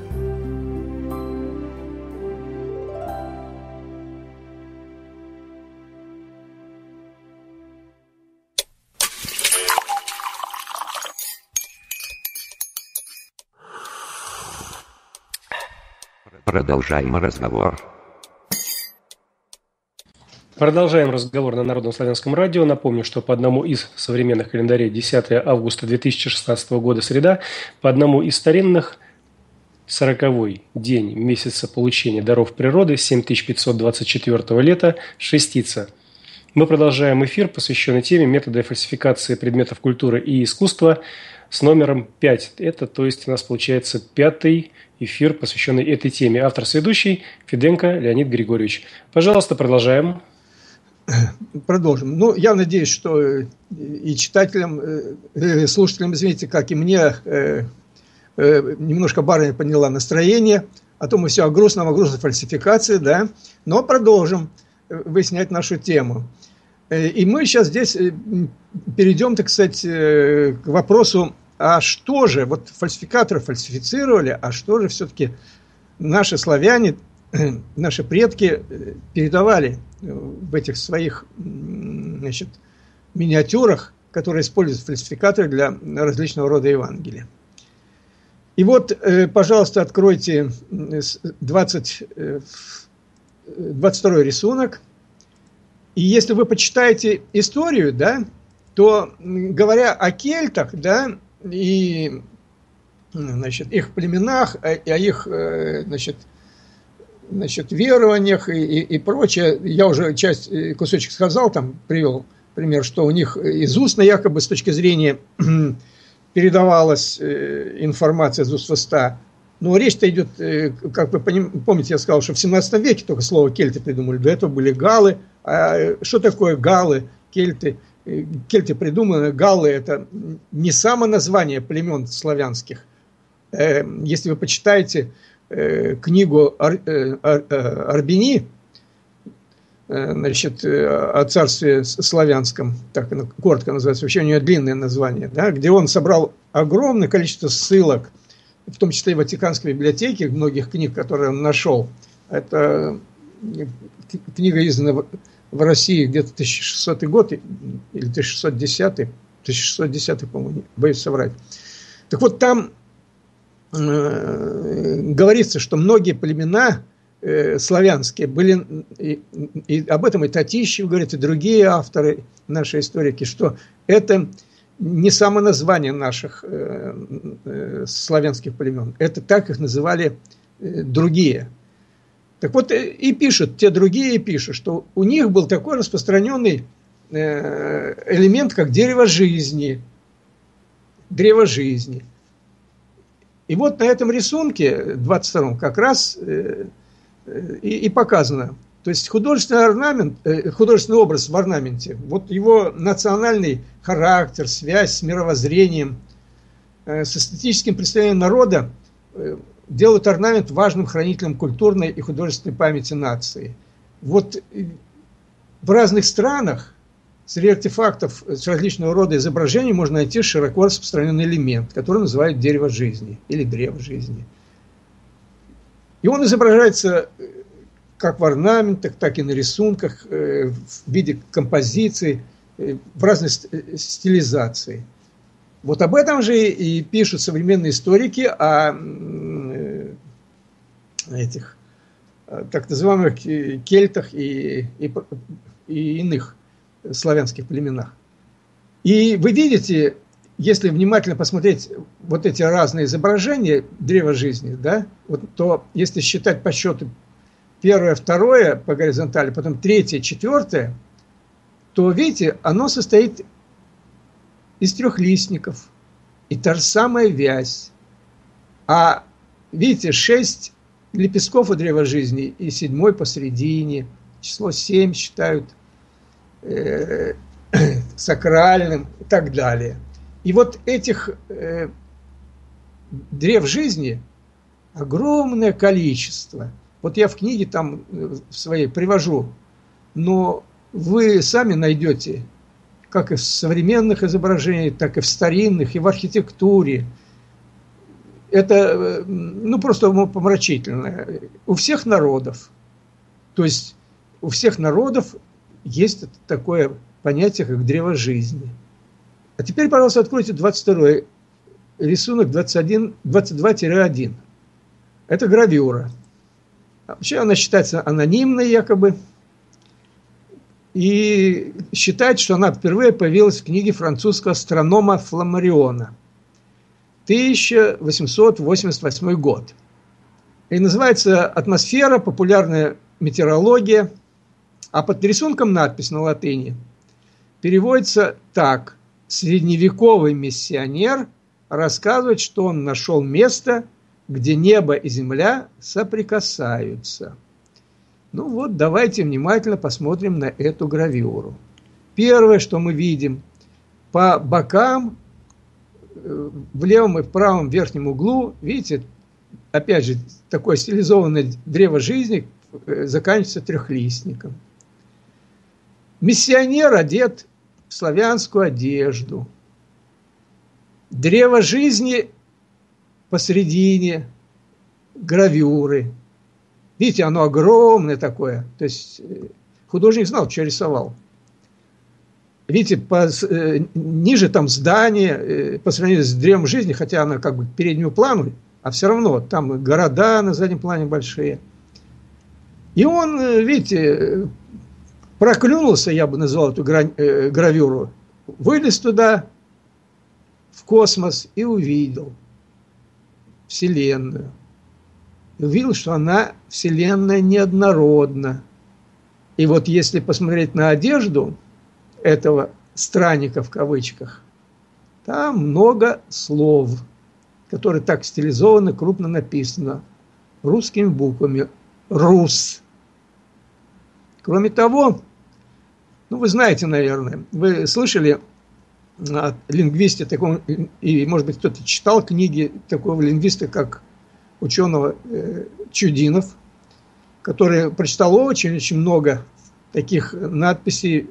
То есть э, у, у древних славян была криптография, и это они пользовались, они скрывали, чтобы передать информацию какую-то, когда ее скрывают, да, они рисовали и значит, среди рисунков зашифровывали мелким шрифтом разные слова. Так вот, слово «рус» на одежде, если вы увеличите, скачайте этот файл, найдете его в хорошем изображении, увеличите с помощью программного обеспечения, программ, чтобы было качественно. Потому что гравюра, а, а она же, это же делалось изображение сначала делалось э, в зависимости от технологии или на металле, или на дереве, и специальным инструментом. И там каждая черточка, все прорисовано очень четко и, и тщательно гравером. Нет никаких мелочей. И очень найдете много этих э, закодированных э, текстов. Вот, например, если вы увеличите солнышко, да, и видите, что глаза у него какие-то другие, и тоже как бы состоят из букв. И рот тоже какой-то неровный, если увеличите, волнообразный, а он тоже из букв состоит. Также есть буквы, э, значит, вокруг, э, значит, э, по, по диаметру написанные лучей солнечных.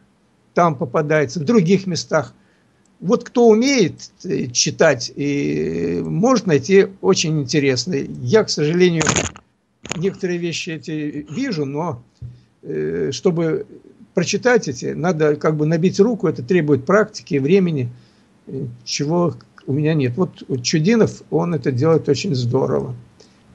Вот. И поэтому вы видите, что наши предки – имели представление космическое о космосе, космическое миропонимание. И, пожалуйста, откройте следующий рисунок. Будет это как бы подтверждением того и следующее, что рисунки, о чем я говорю. Вот видите, какая великолепная ваза. Это металлическая ваза из Дорчестера. Значит, изображение древа жизни. В докладе Scientific American в июне 1851 года сообщалось, что при взрывных работах в скальных породах до кембрийского возраста, а это 534 миллиона лет, как датируют ученые, в штате, э, в городе Дорчестер, штат Массачусетс, в, штат, в Соединенных Штатах Америки – были найдены два осколка металлической вазы.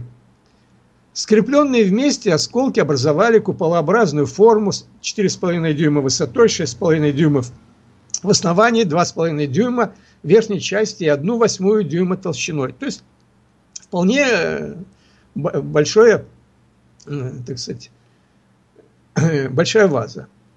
Визуально материал напоминает окрашенный цинк или сплав с большой примесью серебра. Что это такое, не знают. Напоминает. А вот декоративные элементы, они пишут, цветы и виноградная лоза, инкрустированы серебром. Качество исполнения вазы говорит о высочайшем мастерстве ее изготовителя. А если мы вспомним наши ведические документы, славянорийские веды, наши предки колонизировали – планету 600 тысяч лет назад, а до того еще раньше прилетали. А найден это где? Э, в Америке, где, кстати, тот же Чудинов, а до него сами же американцы на, э, нашли множество артефактов на камнях, надписи на русском языке, которые датируются свыше 100 тысяч лет тому назад – и след э, значит, человека, э, человеческий след в обуви с, с такими четким рельефом значит, подошвы. Тоже найден там же. И опять же это все датируется огромными сроками. А что такое Америка? Это до 1775 года была территория Великой Тартарии. Но это, как говорится, отдельный разговор. Так вот, что же наши предки изображали, да? Я уже говорил о трехлистнике, да?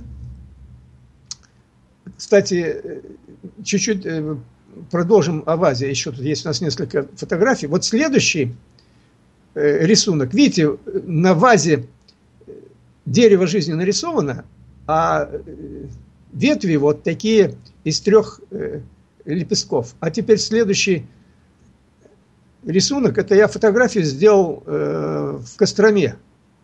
В этом э, роспись э, значит, соборе, на месте которого стоял другой старый собор, как говорят историки, где и рук, эти росписи якобы повторяют, как они говорят, где Романовы венчались на царстве позднее.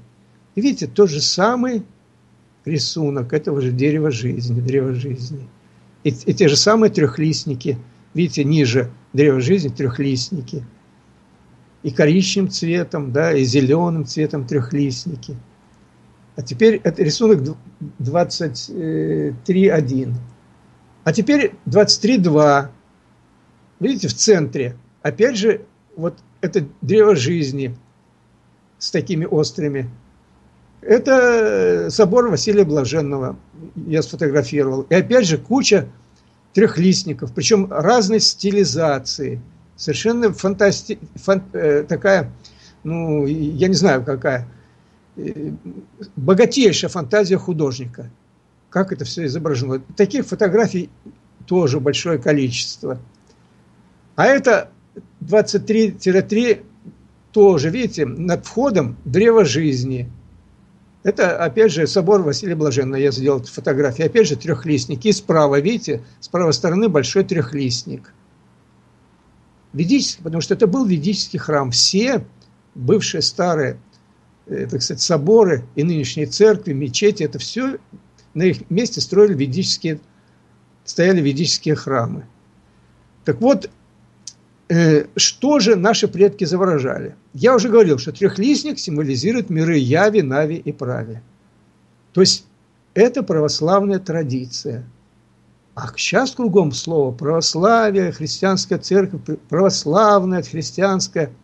А э, православная христианская церковь, чтобы знали, э, кто не знает, была в 1943 году Иосифом Виссарионовичем Сталином было издан такое постановление, стало именоваться после этого. Стала православной.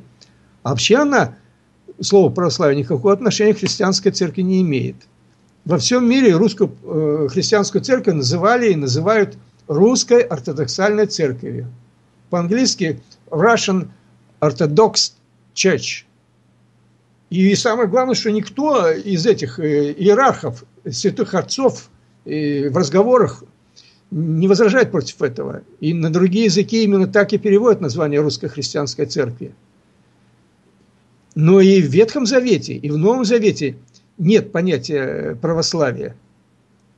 А это есть только в русской ведической традиции.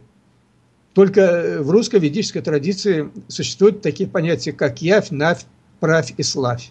То есть явь – это физический плотный мир, навь – это мир мертвых, правь – это мир светлых богов – всеобщий закон, установленный даже Богом, воплощение правды и мудрости. Всякое земное существо, пребывающее в яве, выполняет волю праве, само становясь ее, становясь ее частицей.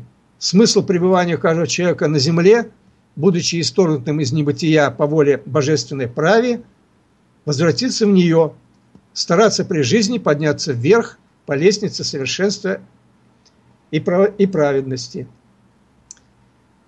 а вот славянскую ведическую традицию почему-то называют языческой.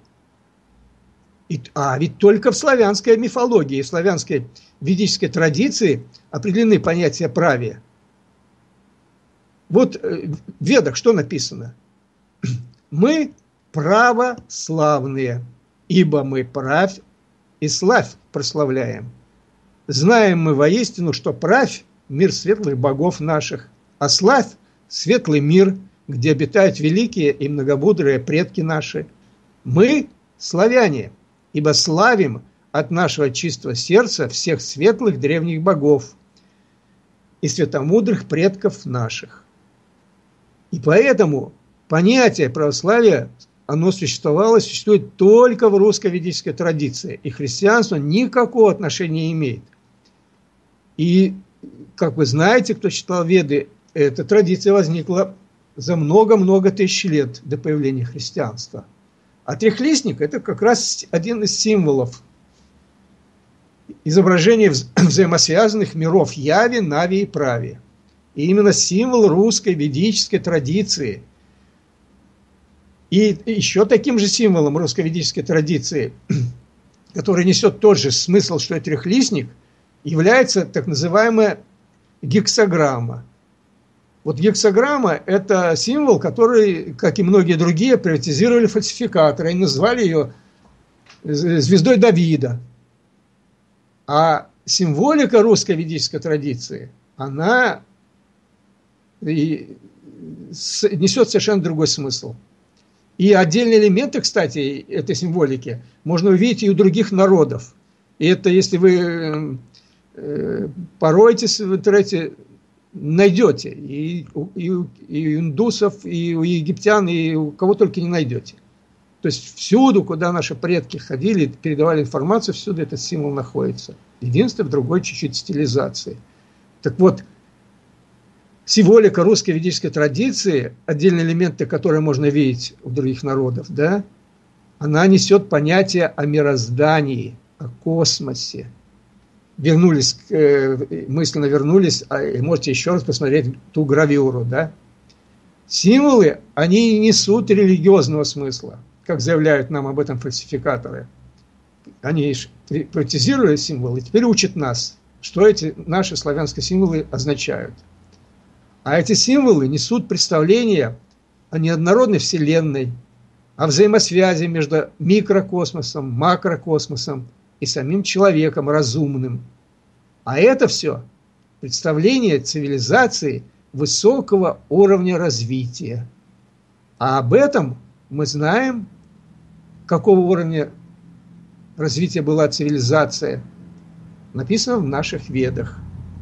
Еще 13 тысяч лет назад. На этом я хотел бы поставить точку. Благодарю. Переходим к вопросам, которые звучали, которые появились в чате Народно-славянского радио. Итак, ищу начало. Я тоже ищу. Еще ищу, вот вроде нашел. Вопрос эфир от Олега Зеркутска. Здравия, Олег Григорьевич. Скажите, считаете ли вы, что наши предки специально делали на века каменные изваяния, различные скульптуры, знаки, храмовые комплексы и не только для священных сакральных ритуальных целей своей современности, но и для того, чтобы потомки могли обрести э, знания сквозь толщу времени и череду событий на это тех, на этих трудно скрываемых многотонных сооружениях. То есть наши великие предки... Да, вопрос видели... небольшой, я его читаю еще раз по новой. Да. Считаете ну... ли вы, что наши предки специально делали на века каменные изваяния, различные скульптуры, знаки, храм, храмовые комплексы, не только для священных сакральных ритуальных целей – своей современности, но и для того, чтобы потомки могли обрести знания через толщу времени и череду событий. Пока остановимся на этой части просто. Да, Хорошо. Я, я с вами согласен. Эта цель была. И, ну, кроме того, э, как я уже сказал, и как вы знаете, если вы читали э, наши ведические книги, да, славянские веды, там же написано, что была, прилетели, колонизировали 600 тысяч лет назад – цивилизация высочайшего, как минимум галактического уровня развития. И эта цивилизация жила и строила такие сооружения, которые, э, к сожалению, на Дарии или на то, что на материке, который на Северном океане затонул, и э, которые еще называют гипербореей и так далее. Вот сейчас э, климат меняется, и уже появилась информация, что э, многие территории поднимаются, а ведь там находили и находят, только об этом молчат, очень замечательные и огромнейшие сооружения, именно каменные. То есть и остатки храмовых комплексов и так далее. То есть вообще Э, тогда уровень развития цивилизации галактического уровня там вообще были фантастические по нынешним меркам. А после того, как э, произошла катастрофа 13 тысяч лет и значит, э, об, э, всемирный потоп и так далее, ось Земли на 23,5 градуса наклонилась, ледники, э, Э, появились, да, в Европе там и, и, и прочее, и была война, то впали, э, значит, в дикость большинство народа. И когда уже возвратились многие колони... колонизаторы, то вот эти, они что застали? Они застали, что остались только где-то там на высоких местностях а, осколки цивилизации – и уже, естественно, тех технологий и знаний было мало. И в славяно-арийских ведах на, написано, что остались священнослужители, которые хранители. То есть была потеряна информация, то, э, те знания о космосе, которые э, и о мире, которое было в нашей цивилизации, которые позволяли строить такие огромные межгалактические корабли, которые перемещались, да, и понятно, осталось только миропонимание. И нашим предкам постепенно, из поколения в поколение, жрецы, та, та каста э, значит, волхов-хранителей, жрецы, и передавали эти, это миропонимание, что мы потомки э, цивилизации, космического уровня развития. И вот это все и отражено, как вы видите, э, в этой символике. Если эту дали, дальше символику разбирать, то, понимаете, там э, вот свастика отображена, да, э, там, я вот, честно говоря, запамятовал, а, видите, я рано прервался и не показал вам Э, эти э, и, и еще фотографии. Давайте, э, так сказать, на этом вопросе я доскажу. Это как раз доказательство. То есть, вот я на 23-м рисунке остановился, а 26-й рисунок, это вот, это галактика, видите? И рукава. Как раз с свастикой и наша галактика имеет как раз четыре рукава, как у свастики. А вот следующий рисунок, 26.1, вот э, этот артефакт найден э, в Южной Америке, он в музее в одном. Видите, а, а у инков, или я не помню, у майя или у инков у кого-то, это Скляров такой э, артефакт, значит, значит, привел на себя. Видите, то же самое гала показано галактика. То есть, когда наши предки стали передавать знания всем другим народам на планете, и индейцам, и индусам, и египтянам, и так далее, вот эти артефакты и остались. И видите, это артефакты, э, символ, они пишут это диск, а это не диск, это как раз э, изображение галактики. Дальше, 26-2 это изображение, видите, ведический символ.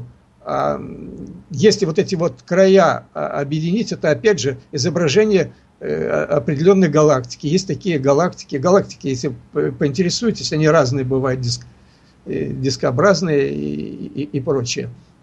Это в, в соборе Василия Блаженного в двух куполах такое изображение есть. А это, э, значит, кинжал 26-3 найден на, в Туве. Там я об этом написал в своей книге и привожу эти артефакты, которые ювелирные артефакты, которые значит, современные археологи пишут фантастические и по э, ювелирному, и по технологии изготовления, и не знают, как это якобы кочевники смогли такие вещи сделать. В одном из эфиров мы говорили уже на эту тему. Но посмотрите, что на этом кинжале нарисовано. Опять же нарисованы спирали. Видите, а что такое спираль? Для диких кочевников понимание спирали. Это такой уровень развития, что ого-го. А если посмотреть э, в целом на образ, который как оформлял, это здесь художник нарисовал развитие, то есть спираль. Вот она спираль идет, идет развитие, то есть материи и текут, текут, проходят, а потом образуется животный мир, растительный, дальше, вот видите, там переходит наконечник, там животные, там, если увеличить э, вид животных и так далее. То есть художник, который инкрустировал, изготовил этот нож, он имел миропонимание космическое. Это наши предки были. Понимаете? Потому что это найдено как раз на территории э, так называемой Западной Сибири, где бродят э, на лошадях дикие кочевники, сарматы и скифы, как э, считает наука. И, э, значит, э, между делом вот такие вещи создают, между переходом от одного пастбища к другому. Вот, пожалуйста, следующее, 26.4. Посмотрите, какое великолепное пектораль или ожерелье. А следующий кусок я увеличил специально, чтобы показать. Это кусок этого ожерелья. Здесь опять же объемная спираль. Видите, художник выполнил объемную спираль. И между ней, между спиралью, видите, различные животные разных видов. То есть, вот он и показывает то же самое развитие, как в космосе реально сама по законам космоса возникает жизнь, возникают миры яви на планетах. И это наши предки знали. И об этом, почитайте, написано в, в наших ведах.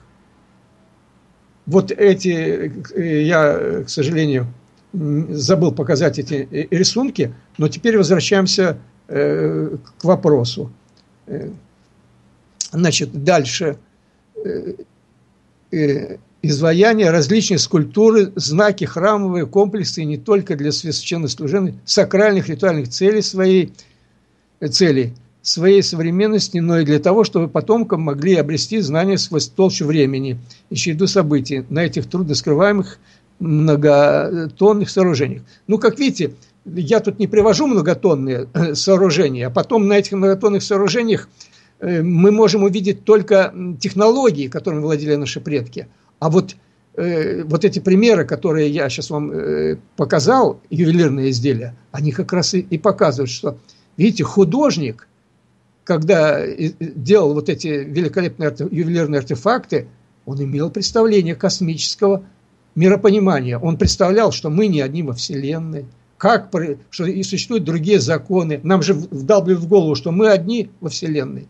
И наша Земля такая одна, э, крутая, и только на ней есть жизнь. А кругом там э, Венера и, и чуть, дальше э, газы, высокие температуры и так далее. И, и ближайшем ничего нету. Понимаете? Хотя сейчас уже нашли кучу планет, которые, как они называют, экзопланетами, где есть жизнь. А наши предки знали это. И в ведах об этом написано. Вот поэтому э, дальше. То есть наши великие предки предвидели, что их культуру будут фальсифицировать э, заменять фальшивыми знаниями. Ну, это вы почитайте Веда Перуна, и там уже он дает, на, так сказать, то, что будет на 40 тысяч лет вперед. И многое там э, описано очень-очень э, четко. А в случае с пирамидами, храмами Перу, э, Перуна, кольцом Ория, Аркаимом, фальсификаторы бессильны. Ну, вот э, мы для этого и, и разбираемся с вами, видите, и показываем, что корни-то кругом э, наши славянские. И не потому, что мы такие славяне крутые, а это реально мы потомки э, цивилизации космического уровня. И об этом написано в наших документах. Но эти документы объявляют зловредными, экстремистскими, чтобы люди только этого не знали. Вот такой ответ. Хорошо, к следующему переходим. Да. Вопрос в эфир от Варга. Здравствуйте, Леонид Григорьевич. Подскажите, пожалуйста, как называется грамота, текст которой вы зачитывали в начале передачи, и где ее можно найти в интернете или библиотеке? Ну, вы ее можете найти и в интернете, и в библиотеке. Единственное, э, я вот сколько искал, да, то я не нашел первого, э, как бы, текст оригинала. То есть это уже как бы э, текст, переведенный с русского на русский. Понимаете, там даже есть э, другие уточнения, которые я не читал. Вот там, допустим, Ричард Ричардов, Иван Грозный пишет, а нам объясняют, что это Ченслер. Потом, значит, еще какие-нибудь имена. Я уже говорил, а вот Антон Янкин, да, он четко пишет, Антон Янкин по-русски. И, и так его и звали там Антон Янкин. А нам объясняют, нет, это Дженкинсон. Потом Ральф Иванов, а нам объясняют, это Рютер. Это, это нам уже объясняют очень умные историки, которые дают толкование того, что написал Иван Грозный и о чем он думал. И когда вы почитаете, э, о чем он думал, то э, они цепляются к тому, что он, э, значит, Елизавет, Елизавету Первую назвал там ты девица, и из этой слова девица по своим девическим понятиям, э, значит, делает вывод, что он собирался или бежать к ней, или сватался, или неудачно. Понимаете, такой маразм, который просто ужас. А э, текст вот такой в переводе, и который я вам прочитал, вот, текст переведен, переведен с русского на русский, вы в интернете и в библиотеках найдете. То есть старайтесь найти э, текст Э, первоисточник, потому что я вам могу привести э, даже текст того же Татищева, да, который написан в истории, и которая история Татищева переведена, э, есть история Татищева на современном языке русском, и есть текст, который написал Татищев, тоже, значит, печатанный, соответственно. День и ночь. Образ языка теряется, понимаете, и потом историки уже там делают свое трактование, как они видят. Где-то оно верное, а где-то оно неверное. Поэтому старайтесь в интернете или в библиотеке, вы найдете этот э, документ. Еще раз э, говорю, как называется. Послание Ивана Грозного английской королеве Елизавете I. Или по, поищите поиск переписка Ивана Грозного с английской королевой. Вот, и найдете. Есть этот документ. Но старайтесь искать первоисточник. Хорошо. Идем дальше. Вопрос эфир от Грифа. Достаточно длинный. Что может сказать соведущий о картинках, о картинах Джованни Пиранези, Робера Юбера, Шарли Луи Кларисо, которые на своих картинах изображали развалины античных городов по всей Европе на месте нынешних крупных городов. Картины Картины велик... Картин великое множество, на них огромное количество мелких деталей, которые заставляют сомневаться э, в фантазийном происхождении полотен. Как утверждают аналитики от официальной истории, по данным картинам выходит, что вся Земля была застроена единообразной архитектурой, причем с манией гигантонизма. В настоящее время уцелели некоторые строения того времени, видимо, до потопного, например, Киевский собор, греческие развалины и прочее. И вторая часть вопроса. На многих картинах на развалинах зданий много надписей на предположительно древнегреческом языке. Местами даже похожие на шрифтовую машинную графику. Что может сказать о происхождении данных надписей сведущий? Э, тем более, что все трое художников родились в одно время, 1700 и 1730 годы. То есть рисовали в одно время практически э, будучи с друг другом, э, будучи с друг другом не знакомы. То есть 1720-1730 в этом диапазоне. Я понял. Вопрос ясен, да? Да. Давайте по порядку. То есть, как бы вопрос разбирается на несколько частей, и так и ответим. То есть, что можно сказать о картинах Джованни Пиранези, Роберта Юбера, Шарля Луи э, Клерисса? Значит, э, картины Джованни Пиранези я очень э, хорошо э, значит, анализировал. Юбера так представляю, а об этом, о третьем Шарле Луи Клериса не, не знаю. Надо поискать, посмотреть. Поэтому о всех трех авторах сказать не могу. Но по Джованни Пиранези это там на самом деле очень много графики, и там можно целую как бы и передачу делать по этому поводу и рассуждать. Э, автор, э, кто задал вопрос, он прав, что вот, э, значит, современные историки и исследователи значит, считают, что это фантазийные, значит, что он нафантазировал Пиранези во многих своих картинах и прочее, гравюрах.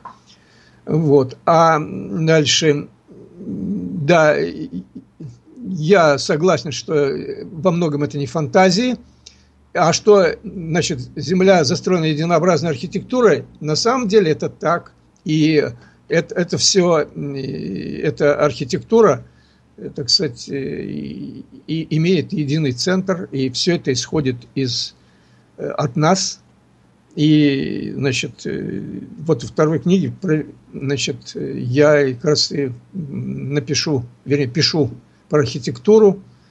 И просто могу сказать, что вот, например, э, чтобы не просто так э, отделаться, а не быть голословным и утвердить. Я, да, с автором в этом плане я согласен. То есть, вот, например, уцелели огромное количество так называемых триумфальных арок по всей планете. В Европе, Азии, э, в Африке и в Южной Америке. То есть это не триумфальные арки, это красные ворота, э, красные, кра, то есть обращенные к свету. Наши предки были, я уже говорил в, это, в предыдущих значит, эфирах говорил, что наши предки э, были солнцепоклонниками, в этом плане не язычники, как нам говорят, а э, понимали. И в этой передаче сегодня я сказал, что у предков было космическое миропонимание, а э, Солнце – это наш, наша звезда, от которой мы в, нашей Солнечной системе получаем все. Наша жизнь зависит от Солнца. Естественно, поэтому все и на восток – и, кстати, Красные ворота существуют в Москве, и они э, существовали, точнее. Сейчас станция осталась только станция метро Красные ворота, их снесли. А также они смотрели на восток. А на востоке что у нас находится? Сибирь, так называемая. А раньше это была Великая Тартария, столица Тобольске, а ранее в Асгарде, Асгарде Рийской. Вот поэтому они смотрят на восток. Поэтому э, вот и осталась единая архитектура, которая, потому что все уже доказали, что историки и исследователи, э, которые, так сказать, нетрадиционным подход э, придерживаются, что все знания шли именно с Востока, и не из Китая откуда, а именно от нас. И ведическая литература об этом и говорит – и я уже говорил и могу еще отдельно сказать, что э, на территории Сибири найдены много артефактов, э, свидетельствующие о том, что значит, 100 тысяч лет назад была такая цивилизация, которая фантастического, космического, галактического уровня, и следы этому, так называемая плита, о которой почему-то молчат, каменная плита, и они называют ее, вообще нашел ее Чувыров – доктор физмат-наук из э, Уфы, из университета. Назвал ее Дашкин камень. Все ее назвали почему-то плитой создателя. Это каменная карта э, рельефная, созданная с помощью космических технологий, э, из космоса снята. Причем технологически изготовлено тоже с помощью таких технологий, которые до сих пор неизвестны для нас. Но вы где-нибудь слышали о том? Уже 10 лет – в 2007, будет 10 лет, в 2007 году Генеральный штаб э, России признал, перед этим исследования проводили научно-исследовательские институты, Чувыров много написал об этом. И признали, что да, это карта, и это э, э, создано с, с такими новейшими технологиями, которые мы не знаем. И там следы славяно-арийские руны на ней. И они китайские. Сначала Чувыров же ездил в Китай, э, чтобы подтвердить.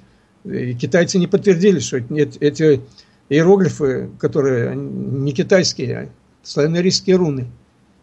Ну вы смотрите, прошло уже 10 лет, и тишина об этом. А ведь этот артефакт, все, он убийственный.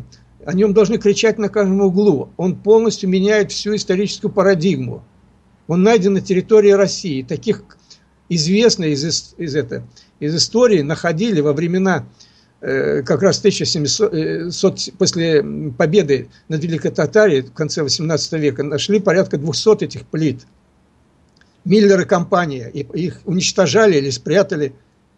А ведь посмотрите, например, по РЕН-ТВ и по другим каналам, ну, показывают телевидение, показывают такие артефакты приводят, убийственные, которые раньше скрывают. Но хоть один канал об этой плите сказал, да никто не говорит. Табу до сих пор наложено. Нельзя об этом говорить. А что, если эта плита э, все точки над «и» ставит, и не надо обсуждать Исаакиевский собор, греческие развалины и, и все остальное. Но все молчат. Понимаете? И тогда не надо никакие ш, шрифтовые машинные гравер, гравировку. И, и, и, понимаете, все у, у, упираются в технологии. И начинают анализировать. Споры ведут. Значит, э, как, какими технологическими методами изготовился Исаакиевский собор или прочее. Это, это тоже вариант как доказательство. И они доказывают, что Э, на самом деле. Но были такие технологии. Опять же, я э, во второй книге пишу об этом. эти технологии, многие по э, созданию, допустим, тех же колонн, значит, по обработке токарные станки были, находились в Великой Татарии, и вазы такие, которые находятся каменные из яшмы и прочих других огромные, которые тонны весят и находятся в этом Э, в Эрмитаже, который Екатерина потом перетащила к себе сразу из так называемой Сибири, из Великой Тартарии, это все сделано там было. Понимаете?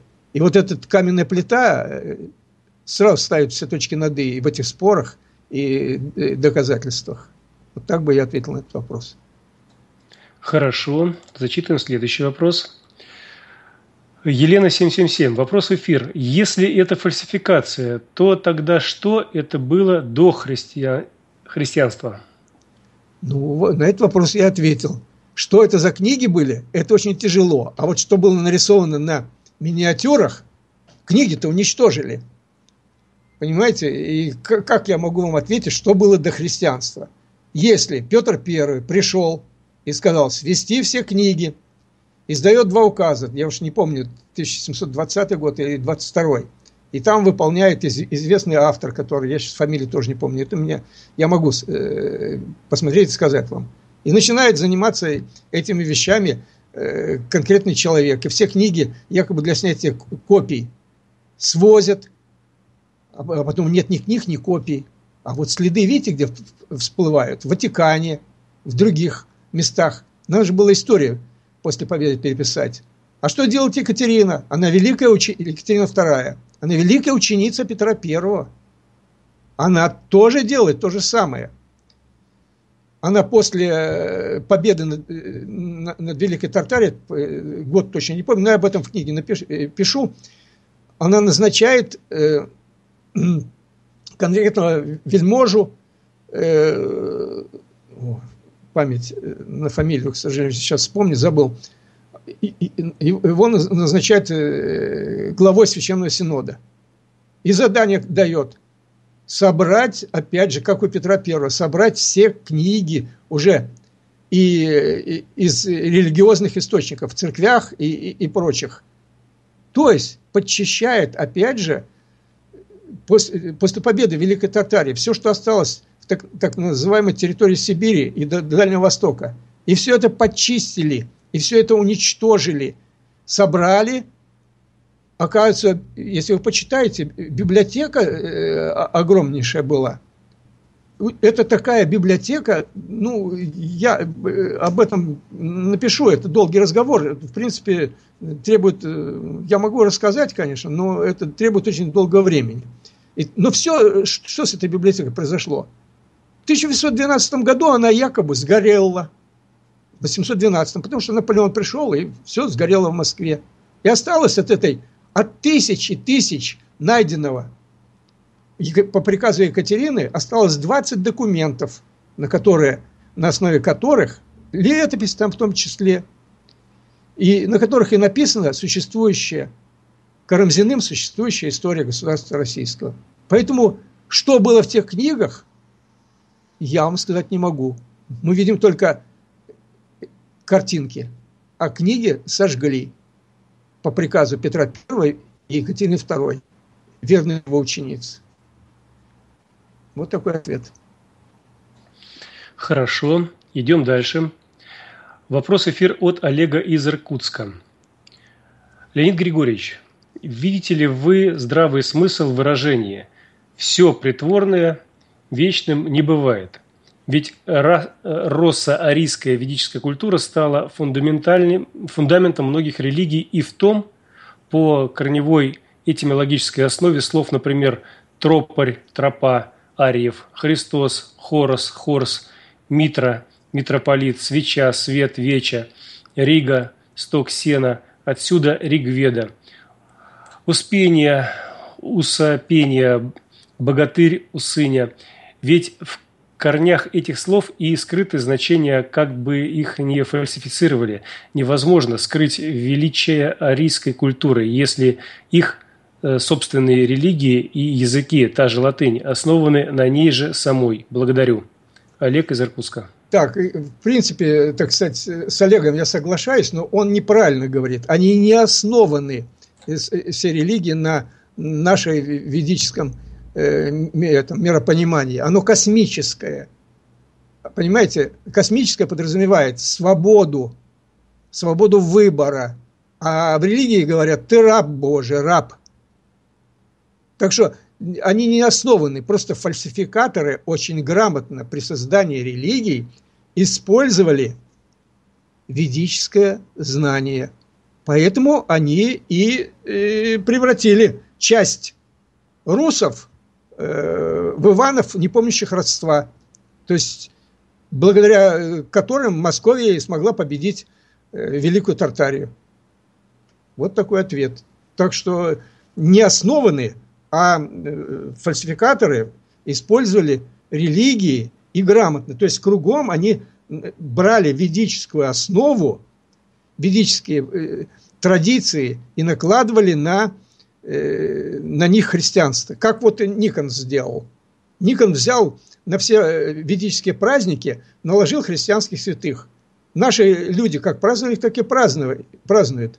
А обозвали, и так вот Э, стали названия святых в них предостаточно и хватило, даже с избытком. Поэтому они не основаны, а наложены калька. Это и есть фальсификация. Вот такой ответ. Хорошо, смотрим дальше. Какие еще у нас поступали вопросы? Вопрос эфир от Олега из Иркутска. У нас, славян, такая действительность, золотой путь развития – Веды утро, сварога, пробуждение сознания людей. А что у фальсификаторов э, и их приспешников? Какие перспективы, кроме жалких подделок предметов культуры свои пос, э, последние лета доминирования на Медгард-Земле? Вы, как известный специалист – в области фальсифицирования истории. Как думаете, что нового предпримут сторонники переписывания древнего наследия? Что землю взорвут? Ведь артефактов просто море, триллионы тонн по всему миру. Благодарю. Так, ну, спасибо, конечно, за известного специалиста в области фальсификации истории. И это от вас я только слышу. Э, значит, ну, за комплимент благодарю, как еще раз сказал. Но понимаете, какое дело? Э, что предпримут новые сторонники переписывания древнего наследия? А что им переписывать? Вот если бы э, информация будет доходить до людей, вот я только что говорил о каменной плите, да, то все. Не надо ничего дальше доказывать. Не, не надо ни, ни в чем убеждать. А что они пытаются предпринять? Вот они пытаются, так сказать, э, развязать очередную войну, да? Ну, не получается. И давно при, э, не получается. А я надеюсь, и не получится. Дело в том, что, понимаете, скажем так, как тут у вас написано, пробуждение сознания людей – Утро сварок, пробуждение сознания людей. А что фальсификаторы и их приспешники, какие перспективы, кроме жалких подделок предметов культуры? Дело в том, что э, они подделывают культ, эти предметы культуры уже подделали, но и э, как я написал в книге и, так сказать, нашел, что, видите, нехватка идет, да, и им надо что-то такое добавлять. Вот они с помощью компьютерных технологий и, и создают вот такие новые якобы артефакты. Но если люди не будут просвещаться, то есть не будут читать, не будут узнавать, не, запрещают наши ста, э, эти старые э, книги, да, говорят, что это экстремистские, другие книги за, запрещают. Если люди не будут э, просвещаться, то они так и будут думать, и, и будут так ходить, и смотреть под ноги, где написано через 200 метров э, кафе Муму, а через 300 метров Макдональдс. Или смотреть по, э, значит, э, особенно молодежь, я имею в виду, или смотреть по, на вывески магазинов. А я-то надеюсь, что все-таки молодежь будет интересоваться этими вещами, и взор их поднимется э, к звездам.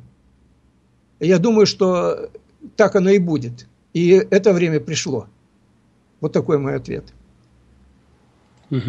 Хорошо. Елена 777. Вопрос в эфир. А может рисунки рисовали живописцы, а тексты писали литераторы, поэтому и нестыковка в качестве? Э, ну, э, дело в том, что, понимаете, я как бы в своей книге, вот на этой на сегодняшней передаче показал, что фальсификация была. И фальсифицировали и, и фальсифицируют разные люди совершенно, привлекают кого только могут. И, и известно много э, в литературе, э, почитайте того же Мережковского, да, и он пишет, что значит, полотна выдающихся художников фальсифицировали, и значит, предложил, э, значит, он пишет о том, что вот предложил папа там конкретный такому-то Микеланджело делать фальсификацию, тот отказался. Понимаете?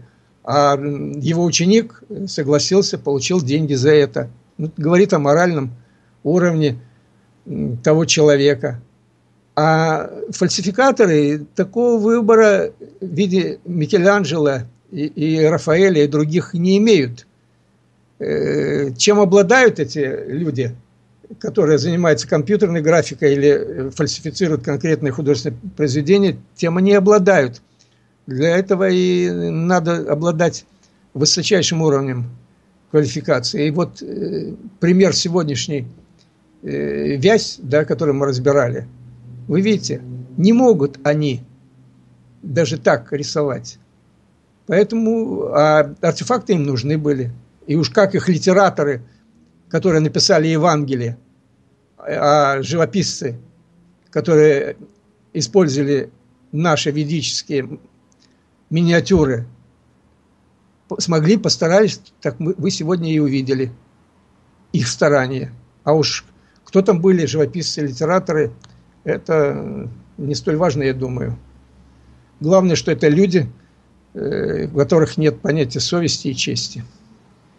Ну что ж, все вопросы мы озвучили. У нас в заключении есть возможность пожелать нашим радиослушателям что-то доброе, вечное, хорошее, и потом попрощаться. Так, о добром и вечном. Ну вот, наверное, я все-таки э, еще раз как, бы повторюсь немножко и добавлю. Понимаете, существовало э, и в наших этих э, книгах, оставшихся документах, написано об этом, что уровень цивилизации э, был космически высочайший. и общество соответствие социуму тоже был соответствующего уровня развития. И основными там были критериями это справедливость, честь, совесть и развитие. Помните, если вы слушали предыдущие передачи, говорят трехлистники, я привел пример, что обряд крещения, когда крести, э, крестился воин, уходящий в бой, он значит, э, мысленно или говорил за честь, за совесть, за веру. Вера – просветление знанием, то есть за развитие. Вот какие ценности были в том обществе. И я желаю вам всем ориентироваться на эти ценности и дожить, когда эти ценности восторжествуют и в нашем обществе. Касается молодых, конечно. Хорошо. Благодарю за участие в эфире. Очень был интересен эфир и хорошие вопросы задавались в чате. Мне остается только напомнить, что сегодня у нас 10 августа 2016 года, среда по одному из современных календарей, 40 день месяца получения даров природы 7524 лета, шестица по одному из старинных календарей. Мы говорили про методы фальсификации предметов культуры и нас, э, искусства. Уже пятая у нас передача. Автор соведущий Феденко Лен Григорьевич у нас был. И мы переходим в автономное вещание. По просьбе наших радиослушателей проводим эксперимент. В течение 9 часов 30 минут будет звучать одна этническая музыка, которая записана в экспедициях, которая воспроизведена по этим экспедициям э, в профессиональными музыкантами и непрофессиональными музыкантами, любителями, ну или как пели ее э, бабушки до сих пор поют в деревнях. Э, очень интересно ваше мнение, что вы скажете через 30 минут, через час, через 8 часов, через 9, насколько этот эксперимент будет удачен. Прощаюсь с вами, желаю вам всего самого-самого доброго. До новых встреч. Услышимся.